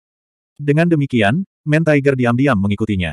Mengenai di mana Zichen berada, Men Tiger dapat menemukannya bahkan dengan mata tertutup. Tentu saja, ini tidak berarti bahwa ia tahu di mana Zichen bersembunyi. Hanya saja Zichen memiliki bau khusus yang dapat ia cium. Men Tiger berjalan sejauh 7 hingga 8 mil sebelum ia menemukan orang barbar itu di daerah dataran rendah. Ketika ia melihat orang barbar itu, mata Men Tiger dipenuhi dengan keterkejutan. Hal ini dikarenakan tubuh barbar tersebut bersinar dan memancarkan aura yang ganas. Terlebih lagi, benda yang bersinar di tangan barbar tersebut sangat menarik bagi Men Tiger. Men Tiger berbaring di tanah dan menatap orang barbar itu. Kemudian, dia melihat orang barbar itu memurnikan bola-bola cahaya yang sangat menarik baginya. Selama kurun waktu ini, Men Tiger sempat berpikir untuk membunuh barbarian itu. Namun, sebagai binatang buas peringkat lima, ia memiliki firasat kuat dan tahu bahwa barbarian itu bukanlah orang yang bisa dianggap remeh. Bahkan dalam situasi ini, ia mungkin tidak bisa membunuh barbarian itu. Seperti ini, Zichen memurnikan sepuluh tetes darah esensi binatang purba lagi. Kekuatannya meningkat pesat. Dia telah mencapai puncak peringkat empat dan dapat memasuki peringkat lima kapan saja. Zichen membuka matanya dan melihat Men Tiger. Dia tersenyum tidak ramah. Little Tiger, mengapa kamu menatapku seperti ini? Apakah kamu mencoba membunuhku? Men Tiger segera mundur saat melihat ekspresi tidak bersahabat di wajah orang barbar itu. Dia menatap orang barbar itu dengan waspada. Namun, tak lama kemudian, pandangan Menhu kabur dan orang barbar di depannya menghilang. Menhu merasa ada yang tidak beres dan berlari ke samping. Namun, pada saat itu, ia merasakan beban di punggungnya. Orang barbar itu yang duduk di punggungnya. Mengaum. Kejadian seperti ini pernah terjadi beberapa hari yang lalu. Setiap kali, reaksi Men Tiger akan sangat ekstrim. Dia akan mengaum ke langit dan aumannya akan bergema di seluruh hutan. Baiklah, aku akan duduk di punggungmu. Apa perlu melakukan ini? Zichen berkata dengan tidak senang ketika dia melihat Men Tiger mencoba melepaskannya. Aku punya tunggangan Longhu Sovereign di dunia luar. Garis keturunannya ribuan kali lebih kuat darimu. Adalah keberuntunganmu bahwa aku tertarik padamu. Mengaum. Men Tiger sangat marah saat mendengar ini. Dia berjuang lebih keras dan kekuatan rank 5-nya mulai melonjak. Dia ingin menjatuhkan Zichen dari punggungnya. Namun, Zichen memegangi leher Men Tiger dan menolak melepaskannya. Men Tiger tidak berdaya. Setelah berjuang selama setengah jam, Men Tiger kehilangan seluruh kekuatannya dan tergeletak di tanah. Ada apa? Kau tidak bisa bertahan lagi. Ini sesuatu untukmu. Zichen turun dari punggung Men Tiger dan mengeluarkan sebuah benda. Menhu menoleh untuk melihat, dan matanya langsung melebar, memancarkan cahaya tak terbatas. Barang di tangan Zichen adalah darah esensi binatang purba. Setiap gerakan Men Tiger diawasi oleh Zichen. Jika Men Tiger berani bergerak, maka dia akan menjadi daging panggang sekarang juga. Men Tiger menatap setetes darah esensi binatang purba lalu menatap Zichen. Matanya dipenuhi rasa tidak percaya. Dia tahu bahwa darah esensi binatang purba adalah sesuatu yang baik, tetapi orang barbar itu tetap memberikannya kepadanya. 787. Setetes saripati darah binatang purba tidak membawa banyak perubahan bagi Menhu, tetapi itu tidak sepenuhnya tidak berguna. Dilihat dari ekspresi Menhu saat mencerna saripati darah, saripati darah binatang purba seharusnya banyak membantunya. Setelah memberikan beberapa keuntungan kepada Menhu, Zichen dapat duduk di punggung Menhu tanpa rasa bersalah. Menhu juga ingin mendapatkan beberapa keuntungan dari Zichen, jadi dia memutuskan untuk membiarkan Zichen melakukan apa pun yang dia inginkan. Berkat tetesan saripati darah itu, hubungan antara manusia dan binatang menjadi lebih dekat. Oleh karena itu, ketika Zichen memanggang daging di malam hari, Menhu juga akan datang saat mencium aromanya. Perlu disebutkan bahwa ketika Zichen memanggang daging di malam hari, tidak ada binatang buas yang berani memonopolinya bahkan ketika api berkobar. Dalam 20 hari terakhir atau lebih, Zichen, yang jarang membunuh, telah menaklukkan hampir semua binatang buas di sekitarnya. Sebagai raja daerah ini, Menhu duduk di samping Zichen dan menikmati makanan. Zichen masih memanggang daging binatang purba. Masih banyak yang tersisa di labu emas ungunya, jadi akan sulit untuk menghabiskan semuanya dalam waktu singkat. Dia senang berbagi dengan Menhu. Membosankan untuk berkultivasi sendirian, jadi ada baiknya ditemani Menhu. Namun, Menhu bukan hanya seorang teman, ia juga rekan latihan yang baik. Di tengah kegelapan malam, api berkobar-kobar. Seorang pria dan seekor harimau sedang makan daging panggang. Zichen juga memanfaatkan kesempatan ini untuk mengeluarkan sebotol kecil anggur untuk diminum. Pegunungan naga barbar sangat berbahaya bagi orang-orang barbar, tetapi Zichen melewatinya dengan sangat santai. Setelah makan dan minum, Zichen mengusap kepala Menhu dan berkata, Harimau kecil, bagaimana kalau kamu ikut aku nanti? Saat aku pergi, aku akan membawamu ke dunia luar untuk merasakannya. Menhu mengangkat kepalanya dan menatap Zichen. Dia cukup cerdas, jadi dia tentu tahu bahwa Zichen ingin dia menggendongnya. Namun, Menhu juga punya permintaan. Setelah ragu-ragu selama beberapa detik, dia mengangguk. Haha, lumayan. Hadiah. Dengan puncak peringkat lima Menhu sebagai tunggangannya, Zichen dalam suasana hati yang baik. Dia mengeluarkan setetes esensi darah binatang purba dan memberikannya kepada Menhu. Menhu menelannya dengan wajah penuh kenikmatan. Tiba-tiba, Zichen merasakan aura yang familiar antara langit dan bumi. Zichen menoleh, berdiri, dan melihat ke kejauhan. Men Tiger, yang sedang berbaring di tanah, juga berdiri dan mengikuti tatapan Zichen. Selain kegelapan malam, tidak ada yang lain. Dia melihat ke langit, lalu menoleh untuk melihat Zichen. Mata Men Tiger dipenuhi dengan keraguan. Zichen menatap langit, ekspresinya terus berubah. Setelah waktu yang lama, dia bergumam, ini dia. Akhirnya di sini. Baru saja, pikiran spiritualnya merasakan aura yang familiar. Aura ini berasal dari hukum langit dan bumi, dari segel hukum. Jelas, ada orang luar lain yang tiba di sini. Zichen dapat hidup berdampingan secara damai dengan orang-orang barbar di dunia ini, tetapi tidak dengan orang luar. Semua orang luar adalah musuh. Zichen merasakan bahaya yang kuat saat orang luar itu tiba-tiba datang. Aura segel hukum itu dengan cepat menghilang, dan pikiran spiritual Zichen tidak dapat menentukan arahnya. Tidak realistis baginya untuk segera pergi dan membunuh orang luar itu. Ketika Men Tiger sadar kembali, dia melihat tatapan mata Zichen berubah menjadi bermusuhan. Tepat saat dia hendak melarikan diri, Zichen menerkamnya. Di samping api, manusia dan binatang itu mulai bertarung. Meskipun saat itu malam hari, Zichen tidak menyerah dalam berkultivasi. Kedatangan orang luar itu membuat Zichen merasakan bahaya yang belum pernah terjadi sebelumnya. Oleh karena itu, dia harus memanfaatkan fakta bahwa orang luar itu belum tumbuh dan menghancurkan semua segel untuk meningkatkan kekuatannya sebanyak mungkin. Selama lima hari berikutnya, meskipun Zichen telah membuat kemajuan, kemajuan itu tidak sejelas sebelumnya. Dia tampaknya telah mencapai titik kemacetan. Selain itu, karena dia sedang terburu-buru, peningkatan kekuatan Zichen telah melambat. Zichen tahu bahwa bukan kecepatan kultivasinya yang lambat, tetapi mentalitasnya yang tidak tepat. Dia terlalu cemas dan terburu-buru.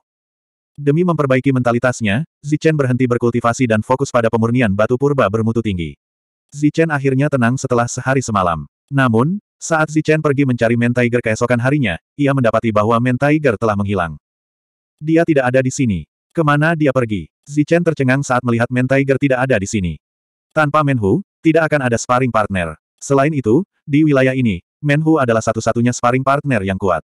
Karena sparring partnernya tidak ada di sini hari ini, Zichen hanya bisa mencari sparring partner lain.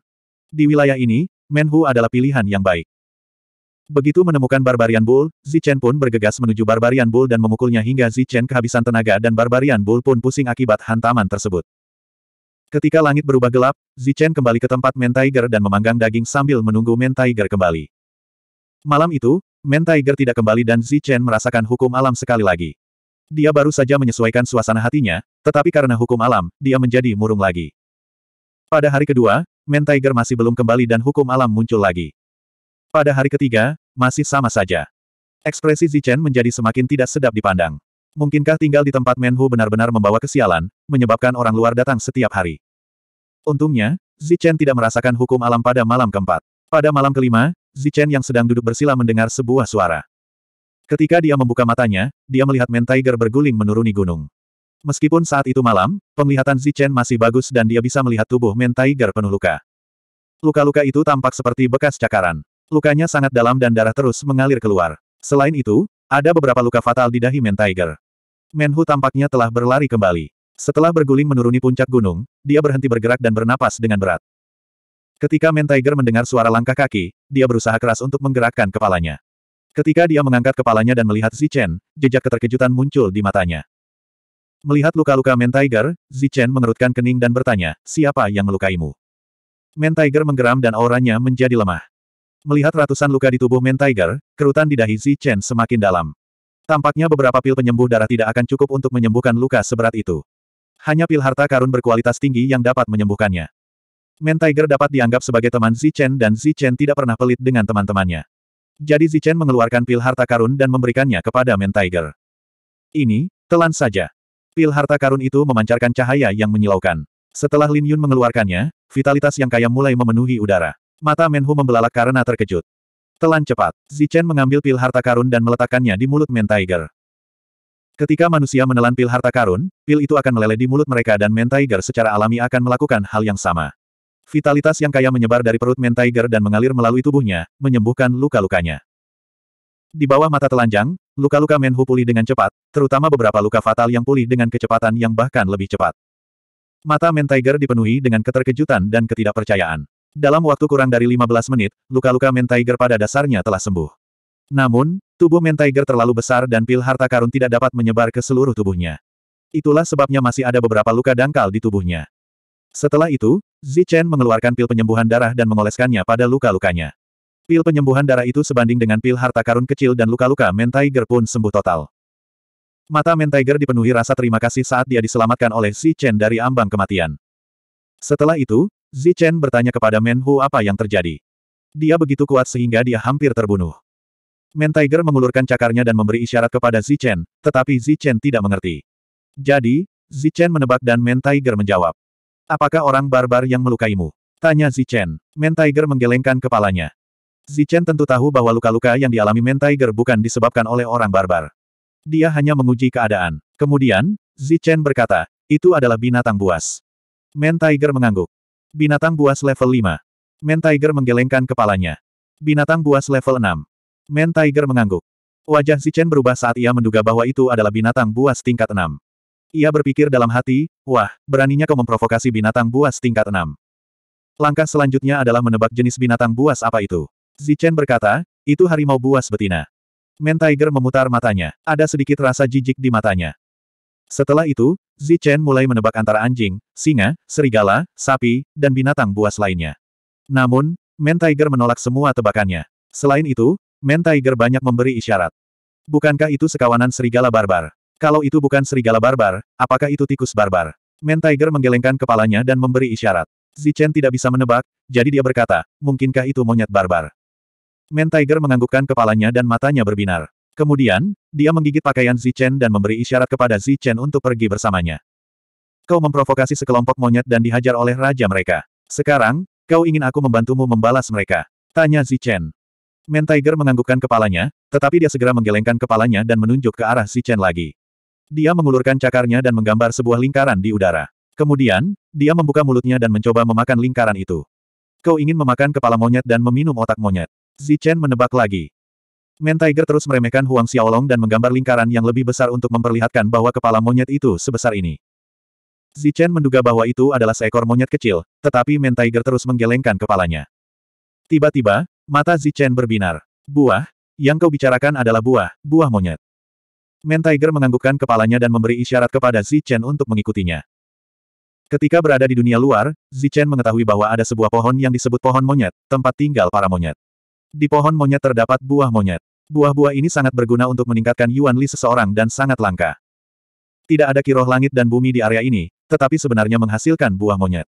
Hal ini membuat Zichen sangat penasaran. Terlebih lagi, ada Raja Monyet level 6 yang mengawasi tempat ini. Karena Menhu ingin pergi ke sana, jelaslah bahwa buah monyet itu luar biasa. Zichen tidak berkata apa-apa dan melompat ke punggung Men Tiger. Men Tiger segera menggendong Zichen. Mereka berlari sejauh ratusan mil. Sepanjang perjalanan, Zichen melihat banyak jejak pertempuran. Ada juga noda darah yang ditinggalkan oleh Men Tiger. Jelas bahwa Men Tiger bertarung dengan Raja Kera. Tentu saja, meskipun disebut pertarungan, sebenarnya yang terjadi adalah manusia harimau yang melarikan diri dan Raja Kera mengejarnya. Saat matahari hampir terbit, Menhu dan Zichen tiba di wilayah klan monyet. Namun setelah tiba, Menhu menjadi jauh lebih berhati-hati. Zichen mengandalkan indera spiritualnya yang kuat dan menemukan bahwa ada banyak binatang buas yang kuat di dekatnya. 788. Meskipun Menhu sangat berhati-hati, dia tidak berhenti. Sebaliknya, dia langsung menyerang ke depan. Sepertinya dia akan langsung menyerang monyet-monyet itu dan mencuri buah monyet. Berhenti, dasar bodoh. Zichen mencengkeram telinga Menhu dan mengirim pesan kepadanya. Suara Zichen terdengar di benak Menhu. Menhu terkejut dan langsung berhenti. Zichen menyebarkan indera spiritualnya dan mendeteksi binatang buas lainnya di sekitarnya. Tidak termasuk Men Tiger, ada lebih dari lima binatang buas. Kekuatan mereka saat ini tidak diketahui, tetapi mereka jelas tidak lebih lemah dari Men Tiger. Setidaknya ada lima binatang buas di sekitar sini. Jika kita maju dengan gegabah, kita akan diserang. Zichen memperingatkan Men Hu lagi. Emosi Men Tiger langsung tak menentu. Ia jelas-jelas sedang marah. Sebelumnya, ia hampir mati karena ia sendiri yang menjulurkan kepalanya dan dipukuli. Men Hu berbaring dan bersembunyi. Zichen turun dari punggung Men Hu dan menyebarkan indera spiritualnya untuk memeriksa keadaan sekitar. Saat indera spiritual Zichen menyapu, sebuah daratan cekung muncul di depannya. Ada puncak gunung yang sangat besar di daratan cekung tersebut. Tepat saat indera spiritual Zichen memasuki daratan cekung tersebut, dia melihat banyak monyet. Monyet barbar jauh lebih besar daripada monyet iblis di dunia luar. Bulu di tubuh mereka berwarna merah menyala, seperti api yang menyala-nyala. Monyet barbar sangat kuat, bahkan yang terlemah adalah prajurit level 3. Ada juga prajurit level 4 dan level 5 yang tak terhitung jumlahnya. Mereka berasal dari suku yang kuat. Saat Zichen mengamati area itu dengan indera spiritualnya, dia menduga setidaknya ada 10 monyet barbar tingkat 5. Sekilas, Tanah yang cekung itu dipenuhi monyet. Mereka menjaga pohon monyet setinggi 100 meter dalam tiga lapisan. Saat ini, di pohon monyet, ada banyak buah monyet yang berkilau bergoyang tertiup angin. Zichen mengamati area tersebut dengan indera spiritualnya dan menemukan bahwa ada 12 buah monyet. Zichen terkejut karena ia menduga bahwa hanya akan ada satu atau dua buah monyet. Dalam jarak 50 meter dari pohon monyet, terdapat ruang terbuka. Tidak ada apa pun di sana kecuali monyet. Lebih jauh lagi, terdapat pohon-pohon tua dengan cabang dan daun yang rimbun. Dia mengamati area itu dengan indera spiritualnya dan melihat cabang-cabang pohon yang rimbun dan daun-daun yang bergoyang. Ada juga monyet barbar yang bermain di antara mereka. Selain itu, ada juga beberapa pohon tua yang layu. Jumlah monyet barbar di sini melebihi ekspektasi Zichen. Apa yang ia rasakan dengan indera spiritualnya hanyalah sebagian kecil dari mereka. Di dasar gunung besar dan di tengah-tengah gunung, terdapat gua-gua yang digali dengan cakar tajam. Dari waktu ke waktu, teriakan monyet barbar yang jenaka dapat terdengar, dan bahkan ada monyet barbar yang keluar masuk. Zichen menarik kembali indera spiritualnya. Ekspresinya jelek karena dia telah menemukan setidaknya dua monyet barbar yang aneh. Mereka mungkin monyet barbar tingkat enam. Dan inilah yang mereka temukan dari luar. Zichen tidak yakin apakah ada monyet barbar tingkat enam atau monyet barbar yang lebih kuat di dalam gua. Menhu menatap Zichen dengan penuh harap, seolah bertanya apakah dia punya ide. Zichen melotot ke arah Menhu dan berkata, dasar bodoh, kau ditipu oleh manusia, bukan, oleh binatang buas. Setidaknya ada dua monyet barbar tingkat enam di sini. Merupakan suatu keajaiban bahwa kau bisa lolos hidup-hidup terakhir kali. Mata Menhu dipenuhi ketakutan saat mendengar ini. Dia segera menyadari bahwa setelah dia pergi dengan salah satu dari monyet barbar tingkat enam, binatang buas lainnya menyerang monyet barbar, tetapi mereka semua dikalahkan. Setelah ketakutan, wajah Menhu dipenuhi dengan keraguan dan harapan. Dia berharap Zichen dapat memberinya ide. Dasar bajingan serakah. Apa kau lebih menginginkan buah monyet daripada nyawamu? Zichen kembali menatap Menhu dengan tajam. Ia lalu menundukkan kepalanya dan berpikir tentang cara mengambil buah monyet. Jelas tidak realistis baginya untuk terbang dan mengambil buah monyet. Bahkan jika Zichen bisa terbang, dia akan dicabik-cabik oleh monyet barbar saat dia mendarat di pohon buah monyet. Satu-satunya cara yang mungkin adalah dengan memancing monyet barbar agar Zichen dapat mengambil buah monyet. Cara ini disebut dengan memancing harimau agar menjauh dari gunung, tetapi di dunia ini, cara ini disebut dengan memancing monyet agar menjauh dari pohon. Dengan bantuan Menhu, metode ini dapat dilakukan, tetapi ia harus merencanakannya dengan hati-hati.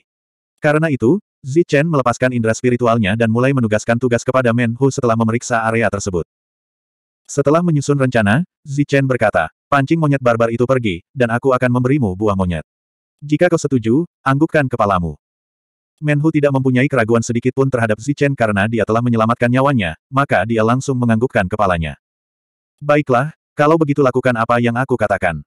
Zichen segera mengirimkan transmisi ke Menhu hingga Menhu mengangguk berulang kali untuk menunjukkan bahwa dia mengerti. Mata Menhu dipenuhi dengan kebanggaan dan rasa senang. Dia tampak sangat puas dengan rencana Zichen. Zichen menepuk kepala Menhu dan berkata, cepatlah. Setelah mengatakan itu, Menhu melesat seperti anak panah. Dia tidak berniat bersembunyi. Selain itu, saat dia bergerak, dia menyebabkan pasir dan batu beterbangan di sekitarnya. Raungannya bergema di seluruh hutan. Saat suara gemuruh terdengar, para monyet barbar terkejut. Mereka jelas tidak menyangka Menhu masih hidup. Terlebih lagi, dia berani muncul lagi dalam waktu kurang dari sehari. Dibandingkan dengan Barbarian Monkeys, Barbarian Beast yang tersembunyi lainnya sangat bersemangat. Mereka semua berpikir bahwa si idiot itu telah muncul lagi. Ini bagus karena menciptakan kesempatan lain bagi mereka untuk menyerang. Dengan Menhu memimpin, binatang barbar yang kuat yang sebelumnya bersembunyi sengaja menyembunyikan diri lebih dalam. Saat ini, mereka menunggu Menhu gagal dan dikejar oleh monyet barbar tingkat 6. Menhu memang menyerang ke depan, tetapi dia tidak menyerang kelompok monyet barbar. Sebaliknya, dia berdiri di atas depresi dan menatap dingin ke arah monyet barbar.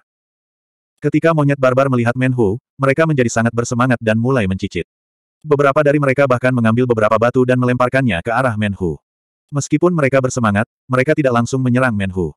Menhu juga tidak menyerang. Dia hanya berdiri di atas depresi dan mondar-mandir. Tatapan matanya yang dingin menjauh dari monyet barbar. Ketika dia melihat buah monyet, ekspresi serakah muncul di wajahnya.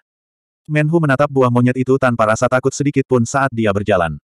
Hal ini menyebabkan monyet barbar menjadi sangat tidak puas. Seketika, mereka melemparkan hujan batu ke arah Menhu. Mengaum. Man Tiger tiba-tiba mengeluarkan suara gemuruh yang menggetarkan hutan. Gelombang kejut yang terlihat menyebar ke segala arah. Sebagian besar batu yang bersiul di udara tertiup oleh gelombang kejut, sementara sebagian kecil dibelokkan oleh gelombang kejut dan mendarat di tubuh Man Tiger tanpa melukainya sama sekali. Hanya monyet barbar tingkat 4 dan 4 yang bersemangat. Monyet barbar tingkat 5 tidak bergerak sama sekali. Sedangkan monyet barbar tingkat 6, mereka terkejut. Mereka tidak mengerti bagaimana Menhu bisa pulih dari cedera berat seperti itu dalam satu malam. Mengaum. Setelah auman pertama, Menhu mengeluarkan auman yang menggetarkan langit lagi. Aura raja di sekelilingnya dipenuhi dengan provokasi. Dia berjalan dengan arogan seolah-olah sedang berpatroli di wilayahnya. Namun, keserakahan di matanya saat dia melihat buah monyet menunjukkan bahwa ini bukan wilayahnya. Menhu tidak dengan bodohnya menyerang monyet barbar. Hal ini membuat binatang barbar lainnya yang bersembunyi sangat tidak senang. Pada saat ini, mereka semua ingin menendang pantat Menhu. Provokasi Menhu akhirnya membuat marah monyet barbar. Melihat serangan batu mereka tidak efektif, beberapa monyet barbar yang gelisah melompat dari puncak pohon dan menyerang Menhu dengan cakar mereka. Sebelum monyet barbar tingkat 5 dan 6 menyerang, monyet barbar tingkat 4 menyerang terlebih dahulu. Karena mereka lebih lemah dari Menhu, ada banyak monyet barbar tingkat 4. Berikutnya, tibalah saatnya bagi Menhu, sang Raja Hutan, untuk menunjukkan kekuatannya. Ia memiliki tubuh yang besar, tetapi ia sangat lincah. Ketika ia melihat segerombolan monyet itu berlari mendekat, sedikit rasa jijik muncul di matanya, dan ia mulai menyerang. Cakar dan ekornya yang tajam merupakan senjata penyerang. Saat ia bergerak dengan lincah, seekor monyet barbar yang terbang di atasnya terkena cakarnya yang tajam. Dengan suara, peng, suara tulang patah dapat terdengar. Kemudian, monyet barbar tingkat empat terlempar dan menghantam pohon monyet di kejauhan. Pada saat yang sama, ekor Menhu mengenai monyet barbar kedua. Pada saat berikutnya, monyet barbar tingkat empat kedua terlempar. Berdasarkan instruksi Zichen, Menhu hanya melukai monyet barbar tetapi tidak membunuh mereka. Meskipun hal ini tidak akan membuat monyet barbar marah, namun akan menjamin keselamatan Menhu. Begitu saja, setelah gelombang pertama monyet barbar terlempar, monyet barbar lainnya menjadi marah. Kali ini, monyet barbar tingkat 5 langsung menyerang Menhu. Seperti yang diharapkan, Menhu akan bertarung sengit dengan monyet barbar tingkat 5. Selain itu, dia tidak akan menahan diri.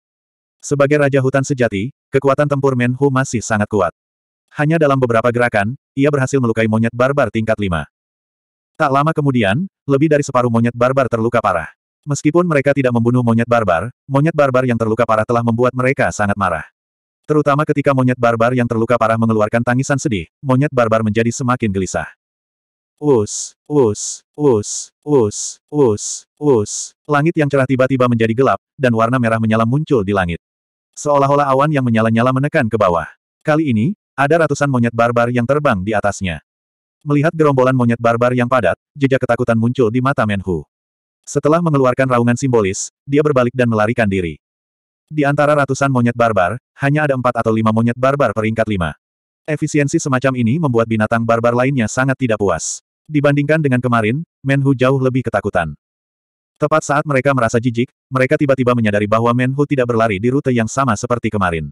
Sebaliknya, ia berlari di rute yang berbeda. Tepat ketika binatang barbar lainnya kebingungan, binatang barbar di rute ini merasakan ada yang tidak beres. Namun, ia tidak langsung panik dan terus bersembunyi. Dalam pandangannya, Menhu berlari lurus ke arahnya. Namun, ketika dia berada beberapa puluh meter jauhnya, Menhu tiba-tiba melompat. 789. Mengikuti instruksi Zichen, Men Tiger menginjak kepala binatang buas yang tersembunyi itu dan memanfaatkan momentum itu untuk melompat menjauh. Binatang buas itu awalnya bersembunyi di dalam tanah, tetapi ketika Menhu menginjaknya, ia secara tidak sadar mengerahkan kekuatannya.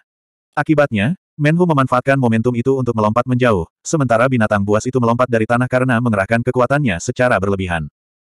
Ini adalah terenggiling raksasa yang panjangnya 7 hingga 8 meter. Tubuhnya ditutupi sisik hitam yang berkelap-kelip dengan cahaya hitam.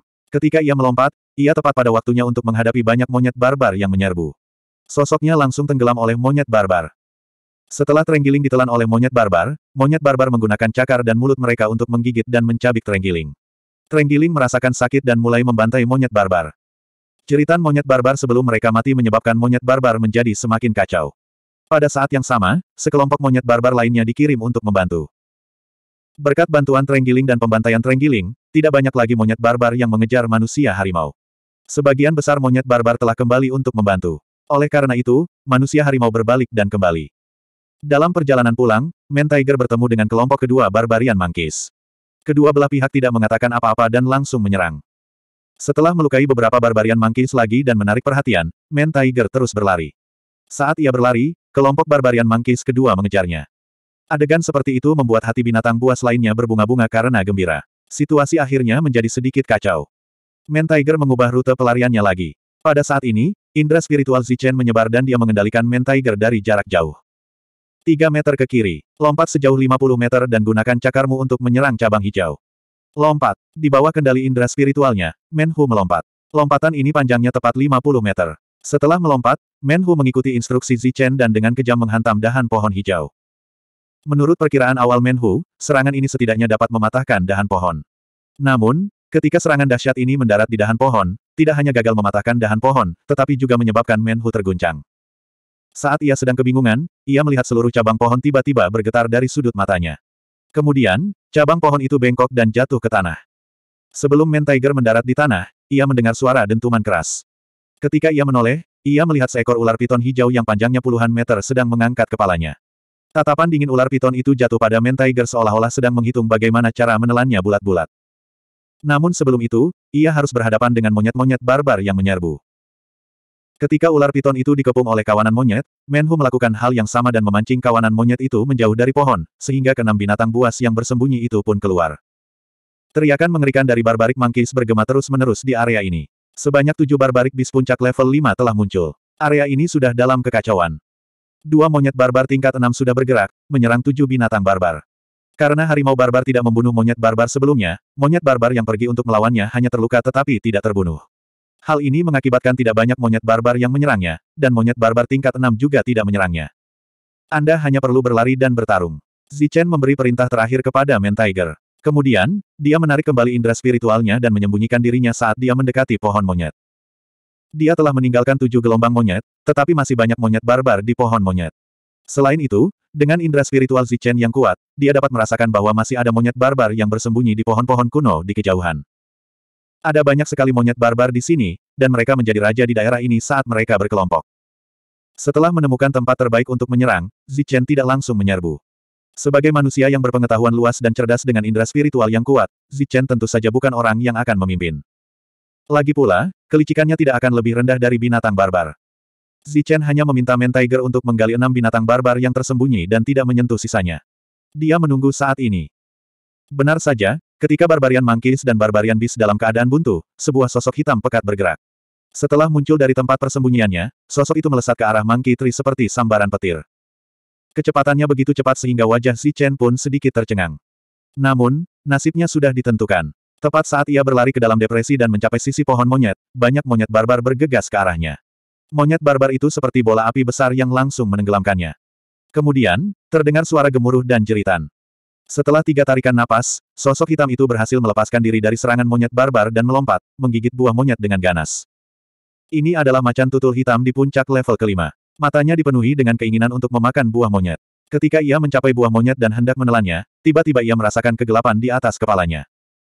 Tepat saat macan tutul hitam itu mengangkat matanya, ia melihat jejak kaki besar turun dari langit dan dengan kejam menutupi hidungnya. Ledakan. Dengan suara keras, macan tutul hitam itu terbanting ke tanah. Kemudian, seekor monyet barbar tingkat keenam jatuh dari langit. Melihat monyet barbar tingkat keenam lainnya muncul, mata macan tutul hitam itu dipenuhi rasa takut. Setelah mengeluarkan raungan menyakitkan, ia berubah menjadi sinar cahaya hitam dan dengan cepat melarikan diri ke kejauhan. Selama waktu ini, total enam monyet barbar telah mati di bawah mulut macan tutul hitam. Tentu saja, monyet barbar lainnya tidak akan membiarkannya pergi dan dengan cepat bergegas ke arahnya. Pada macan tutul hitam yang melarikan diri, masih ada beberapa monyet barbar yang tergantung di tubuhnya. Cakar dan gigi mereka yang tajam telah menembus tubuh macan tutul hitam. Di samping pohon monyet, muncullah monyet barbar tingkat keenam. Namun, keberadaan sekuat itu tidak dapat menghalangi binatang barbar yang tersembunyi. Hanya ada satu kesempatan untuk menciptakan kekacauan seperti itu, jadi kesempatan itu harus dimanfaatkan. Setelah macan tutul hitam melarikan diri, Zichen merasakan melalui pikiran spiritualnya bahwa ada tiga binatang barbar yang mencoba mendekati pohon monyet. Terlebih lagi, ketiga binatang barbar ini adalah hewan pengerat yang bersembunyi di bawah tanah dan pandai menggali. Selain itu, serigala barbar tingkat kelima muncul di kejauhan. Itu adalah serigala barbar tingkat kelima yang bergegas setelah mendengar teriakan monyet barbar. Namun, tidak diragukan lagi itu adalah binatang barbar yang paling siap. Hal ini dikarenakan ada ratusan serigala barbar yang lebih kecil yang mengikuti di belakang serigala barbar tersebut.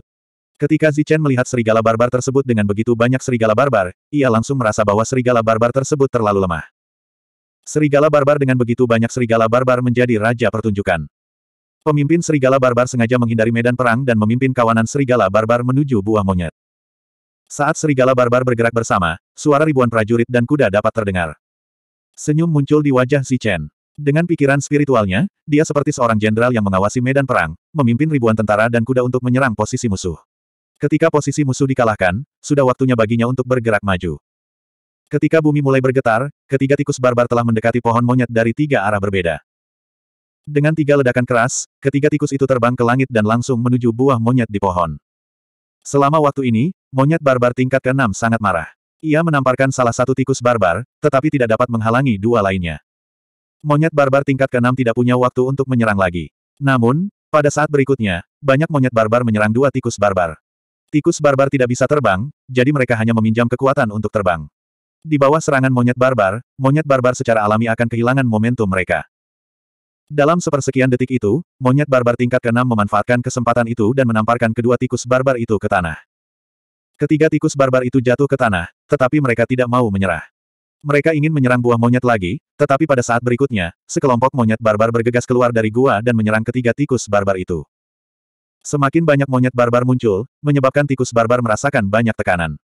Mereka hanya bisa terus mundur. Pada saat ini, getaran bumi menjadi semakin keras. Serigala barbar telah bergegas datang bersama saudara-saudara kecil mereka. Jumlah mereka banyak, jadi mereka langsung menyerang monyet barbar. Monyet barbar juga sangat langsung. Setelah kemunculan tiga tikus barbar, jumlah monyet barbar yang menyerbu keluar dari gunung tidak berhenti. Selain itu, ada lebih banyak monyet barbar yang menyerbu keluar dari pohon kuno di kejauhan. Ada begitu banyak monyet barbar sehingga bahkan Si Chen pun terkejut. Jika bukan karena fakta bahwa ada begitu banyak binatang barbar yang mengincar buah monyet, Zichen bahkan tidak akan memiliki harapan besar untuk mendapatkan buah monyet. Namun, dengan begitu banyak monyet barbar, Zichen masih memiliki peluang untuk berhasil setelah sedikit perhitungan. Kemunculan serigala barbar mengejutkan Zichen, tetapi semakin kacau situasinya, semakin besar kemungkinan bagi Zichen untuk berhasil. Sekelompok barbarian Wolves baru saja menyerbu ke dalam depresi ketika mereka dihadang.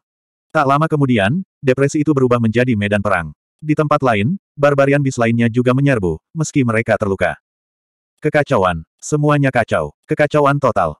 Namun, Zichen masih tidak bergerak. Seutas indera spiritualnya terkunci di suatu tempat 30 meter di sebelah kanannya. Ada orang lain yang sangat ahli dalam menggali tanah. Ini juga seekor terenggiling. Teknik penyembunyiannya tidak hanya hebat, tetapi juga lebih besar dan kuat. Zichen telah memutuskan untuk meninggalkannya dan membiarkannya membawanya lebih dekat ke tanah. Benar saja, ketika situasi sudah kacau balau, terenggiling itu bergerak. Ia menggali tanah dan mulai mendekati pohon monyet. Karena indera spiritual Zichen menyebar ke seluruh area, saat Zichen bersiap mengikuti Trenggiling, dia menemukan pemandangan yang sangat aneh. Semakin banyak monyet barbar yang keluar dari puncak gunung, tetapi ada juga lebih banyak monyet barbar yang kembali ke puncak gunung. Monyet-monyet barbar ini sebagian besar kelelahan karena pertempuran sebelumnya. Mereka dengan cepat menyerbu ke puncak gunung, tetapi tidak lama kemudian, mereka menyerbu keluar lagi. Ketika mereka masuk, mereka hampir kelelahan, tetapi ketika mereka keluar, mereka penuh energi, seolah-olah mereka telah memakan pil yang kuat. Selain itu, di bawah pengamatan cermat indera spiritual Zichen, ia menemukan bahwa ada sedikit cairan hijau yang tersisa di sudut mulut monyet barbar. Ada juga banyak monyet barbar yang menjilati cairan itu dengan lidah mereka. Saat monyet barbar masuk dan keluar, depresi itu mengeluarkan aroma samar. Saat aroma ini menyebar, wajah Zichen jelas menunjukkan ekspresi aneh. Ini adalah aroma anggur. Mungkinkah itu anggur monyet? Monyet barbar di sini juga tahu cara membuat anggur. Anggur monyet di dunia luar memiliki efek khusus. Apa yang akan dilakukan anggur monyet di sini? Tampaknya monyet barbar telah menunjukkan kepada Zichen bahwa anggur itu dapat meningkatkan atau memulihkan kekuatan. 790. Setelah menemukan anggur monyet dan menebak khasiatnya, mata Zichen makin berbinar. Jelas, buah monyet dan anggur monyet adalah hal yang baik. Buah monyet dapat membantu meningkatkan kekuatannya, sedangkan anggur monyet akan sangat membantu perjalanannya di jalan kuno. Penemuan ini membuat Zichen terdiam sejenak. Selama jeda ini, Trenggiling raksasa telah memasuki cekungan. Trenggiling itu muncul dari lubang, tetapi tidak muncul langsung di samping pohon kera seperti binatang buas lainnya. Sebaliknya, ia muncul 50 meter jauhnya dari pohon kera, di samping pohon yang layu. Awalnya, ada monyet barbar di pohon-pohon kuno di belakang pohon yang layu. Karena pertempuran terlalu intens dan ada terlalu banyak binatang buas, semua monyet barbar ini bergegas ke cekungan untuk membantu. Setelah Trenggiling muncul, secara tak terduga ia tidak ditemukan oleh monyet barbar. Setelah menjulurkan kepalanya, ia kembali bersembunyi di bawah tanah, lalu membuka lubang di tanah dan mendekati pohon monyet. Di bawah pohon monyet, ada monyet barbar yang menjaganya. Monyet barbar level 6 bertarung di depannya. Terenggiling muncul lagi di sisi lain pohon monyet, yang berjarak 20 meter, di belakang sekelompok monyet barbar. Terenggiling menjulurkan kepalanya, tetapi monyet barbar tetap tidak menemukannya. Matanya jelas dipenuhi kegembiraan, dan ia berpikir tentang cara mencuri buah monyet. Setelah Zichen menekan semua auranya, dia mengikuti terenggiling itu. Tempat dia muncul adalah tempat terenggiling itu menjulurkan kepalanya sebelumnya. Zichen muncul dalam sekejap, menggunakan pohon yang layu sebagai penutup. Saat ini, dia hanya berjarak 50 meter dari pohon monyet. Jika dia menggunakan kecepatan ekstremnya, dia bisa langsung mencapai pohon itu. Dia tidak berani mengatakan bahwa dia bisa memetik semua buah monyet, tetapi memetik dua atau tiga tidak akan menjadi masalah sama sekali. Ekspresi Zichen berubah, dan dia bersiap menggunakan kecepatan ekstremnya untuk bergerak sebelum terenggiling itu bergerak. Tiba-tiba, indera kuat Zichen mendeteksi aura yang membuat jantung berdebar-debar. Aura ini membuat Zichen jelas merasakan bahaya, dan itu adalah bahaya yang mengancam jiwanya. Zichen bersandar erat pada pohon kuno dan menahan semua auranya. Saat ini, sudah ada tiga monyet barbar level 6 dalam kelompok monyet barbar. Namun, ketiga monyet barbar ini hampir sama dalam hal ukuran dan kekuatan. Jika ketiganya adalah raja, maka itu akan bertentangan dengan akal sehat bahwa hanya ada satu raja dalam satu kelompok. Memikirkan hal ini, wajah Zichen dipenuhi keringat dingin. Jika ketiga monyet barbar ini bukan raja, maka jelaslah bahwa raja monyet barbar belum muncul. Terlebih lagi, Zichen merasa bahwa dirinya telah ditipu. Raja Kera belum muncul, dan ini membuat Zichen bertanya-tanya apakah Raja Kera sedang menunggu semua binatang buas muncul sehingga dia dapat menangkap mereka semua sekaligus. Keringat dingin menetes dari dahinya. Dugaan ini bukan tidak berdasar. Pada saat ini, monyet barbar tidak memiliki keunggulan. Mereka mati satu demi satu, tetapi Raja Monyet Barbar masih belum muncul. Jangan mencoba mendekati tempat ini. Tetaplah sejauh mungkin. Jika kamu merasa ada yang tidak beres, segera lari. Jantung Zichen berdebar kencang, dan dia buru-buru mengirim pesan kepada Menhu. Mendengar pesan Zichen, Menhu, yang telah mengikuti binatang buas lainnya untuk menyerang pohon buah monyet, juga diam-diam mundur. Dari apa yang terlihat, dia dipaksa mundur oleh monyet-monyet barbar. Dengan penemuan ini, Zichen langsung merasa seolah-olah ada ujung tajam di punggungnya. Seolah-olah setiap gerakannya sedang diawasi. Sebelumnya, dia mengira bahwa dialah jenderal yang mengendalikan seluruh situasi, tetapi sekarang, dia merasa bahwa dia hanyalah seorang badut yang telah dipermainkan. Trenggiling itu sangat cerdik. Ia belum menyerang dan masih menunggu. Namun, di mata Zichen, Trenggiling itu hanyalah badut, badut yang telah dipermainkan seperti dirinya.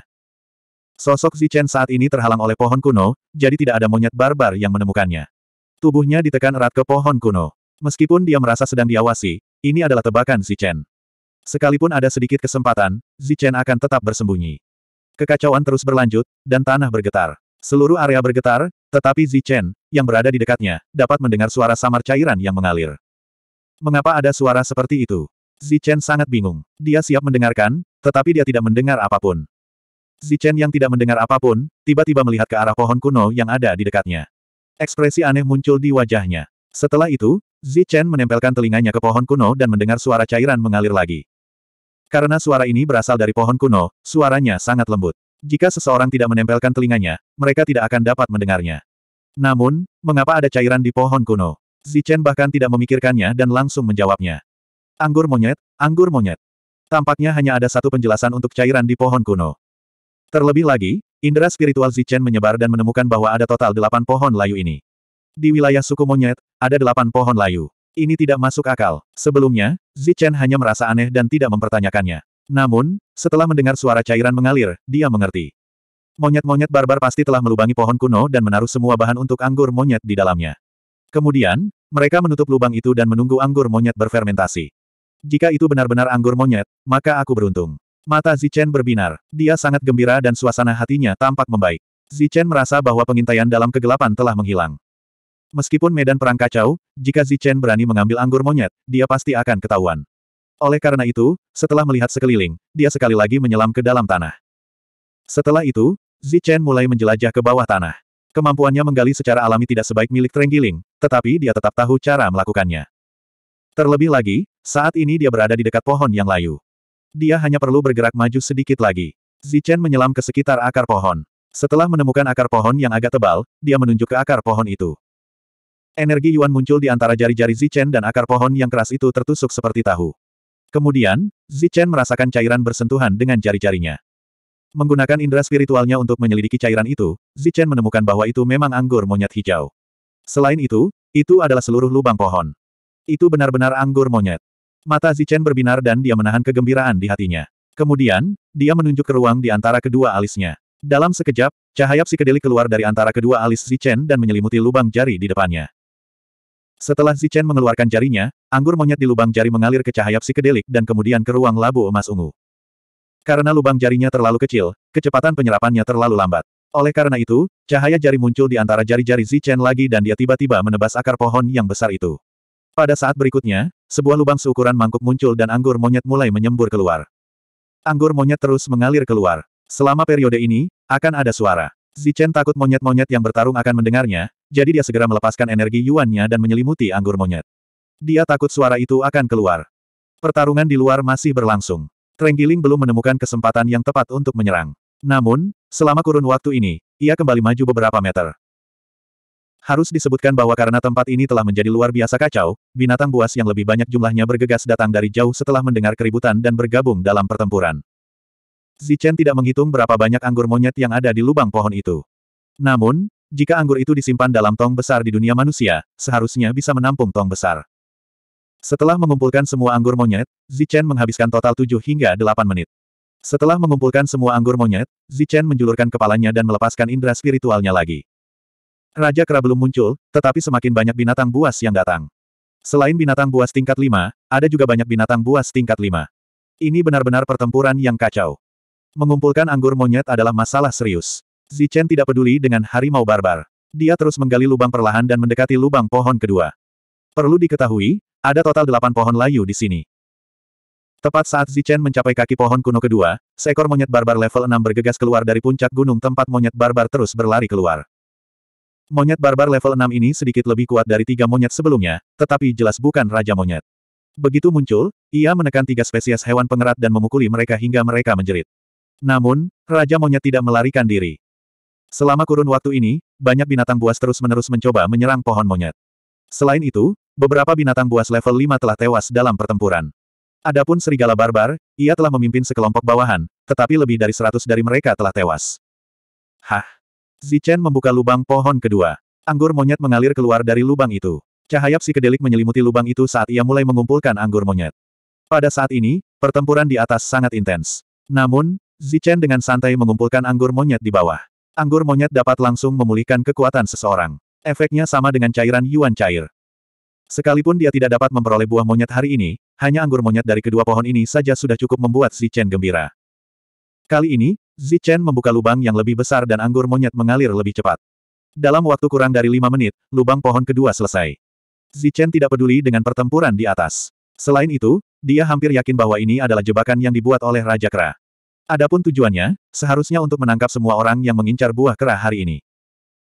Terlebih lagi, Zichen menduga, jika dia tidak membiarkan harimau barbar memikat Raja Kera, maka kera-kera barbar ini akan mengambil inisiatif menyerang dan menimbulkan kekacauan. Hah? Zichen pergi ke lubang pohon ketiga dan dengan mudah menusuknya dengan jarinya. Namun, kali ini, Zichen tidak menemukan anggur monyet. Lubang pohon ini kosong. Tidak ada apa-apa. Zichen terkejut. Namun, setelah berpikir sejenak, dia mengerti. Benda ini diseduh oleh Raja Kera. Jika tidak ada, maka pasti sudah diminum. Oleh karena itu, dia pergi ke pohon keempat. Namun, Zichen masih tidak menemukan apa pun. Ada delapan dari mereka. Aku tidak percaya kalau semuanya sudah hilang. Zichen tidak mempercayainya dan bergerak menuju akar pohon kelima. Hah? Mengikuti jarinya, Zichen merasakan anggur monyet lagi. Wajahnya berseri-seri dan dia segera mengambil anggur monyet. Dalam pertempuran yang kacau di luar sana, ada lebih dari 40 binatang buas level 5 yang berkumpul di sini. Di antara mereka, ada lebih dari 10 binatang buas level 5 yang hanya selangkah lagi dari level 6. Terlebih lagi, seluruh medan perang telah menjadi sangat kacau. Para monyet barbar bukanlah tandingan bagi Raja Monyet. Pada saat ini, hampir semua monyet barbar telah bergabung dalam pertempuran. Trenggiling yang selama ini menahan diri akhirnya mengambil keputusan. Setelah diam-diam muncul dari tanah, ia tiba-tiba melompat dan berubah menjadi seberkas cahaya, terbang menuju pohon kosong yang hanya ada buah monyet.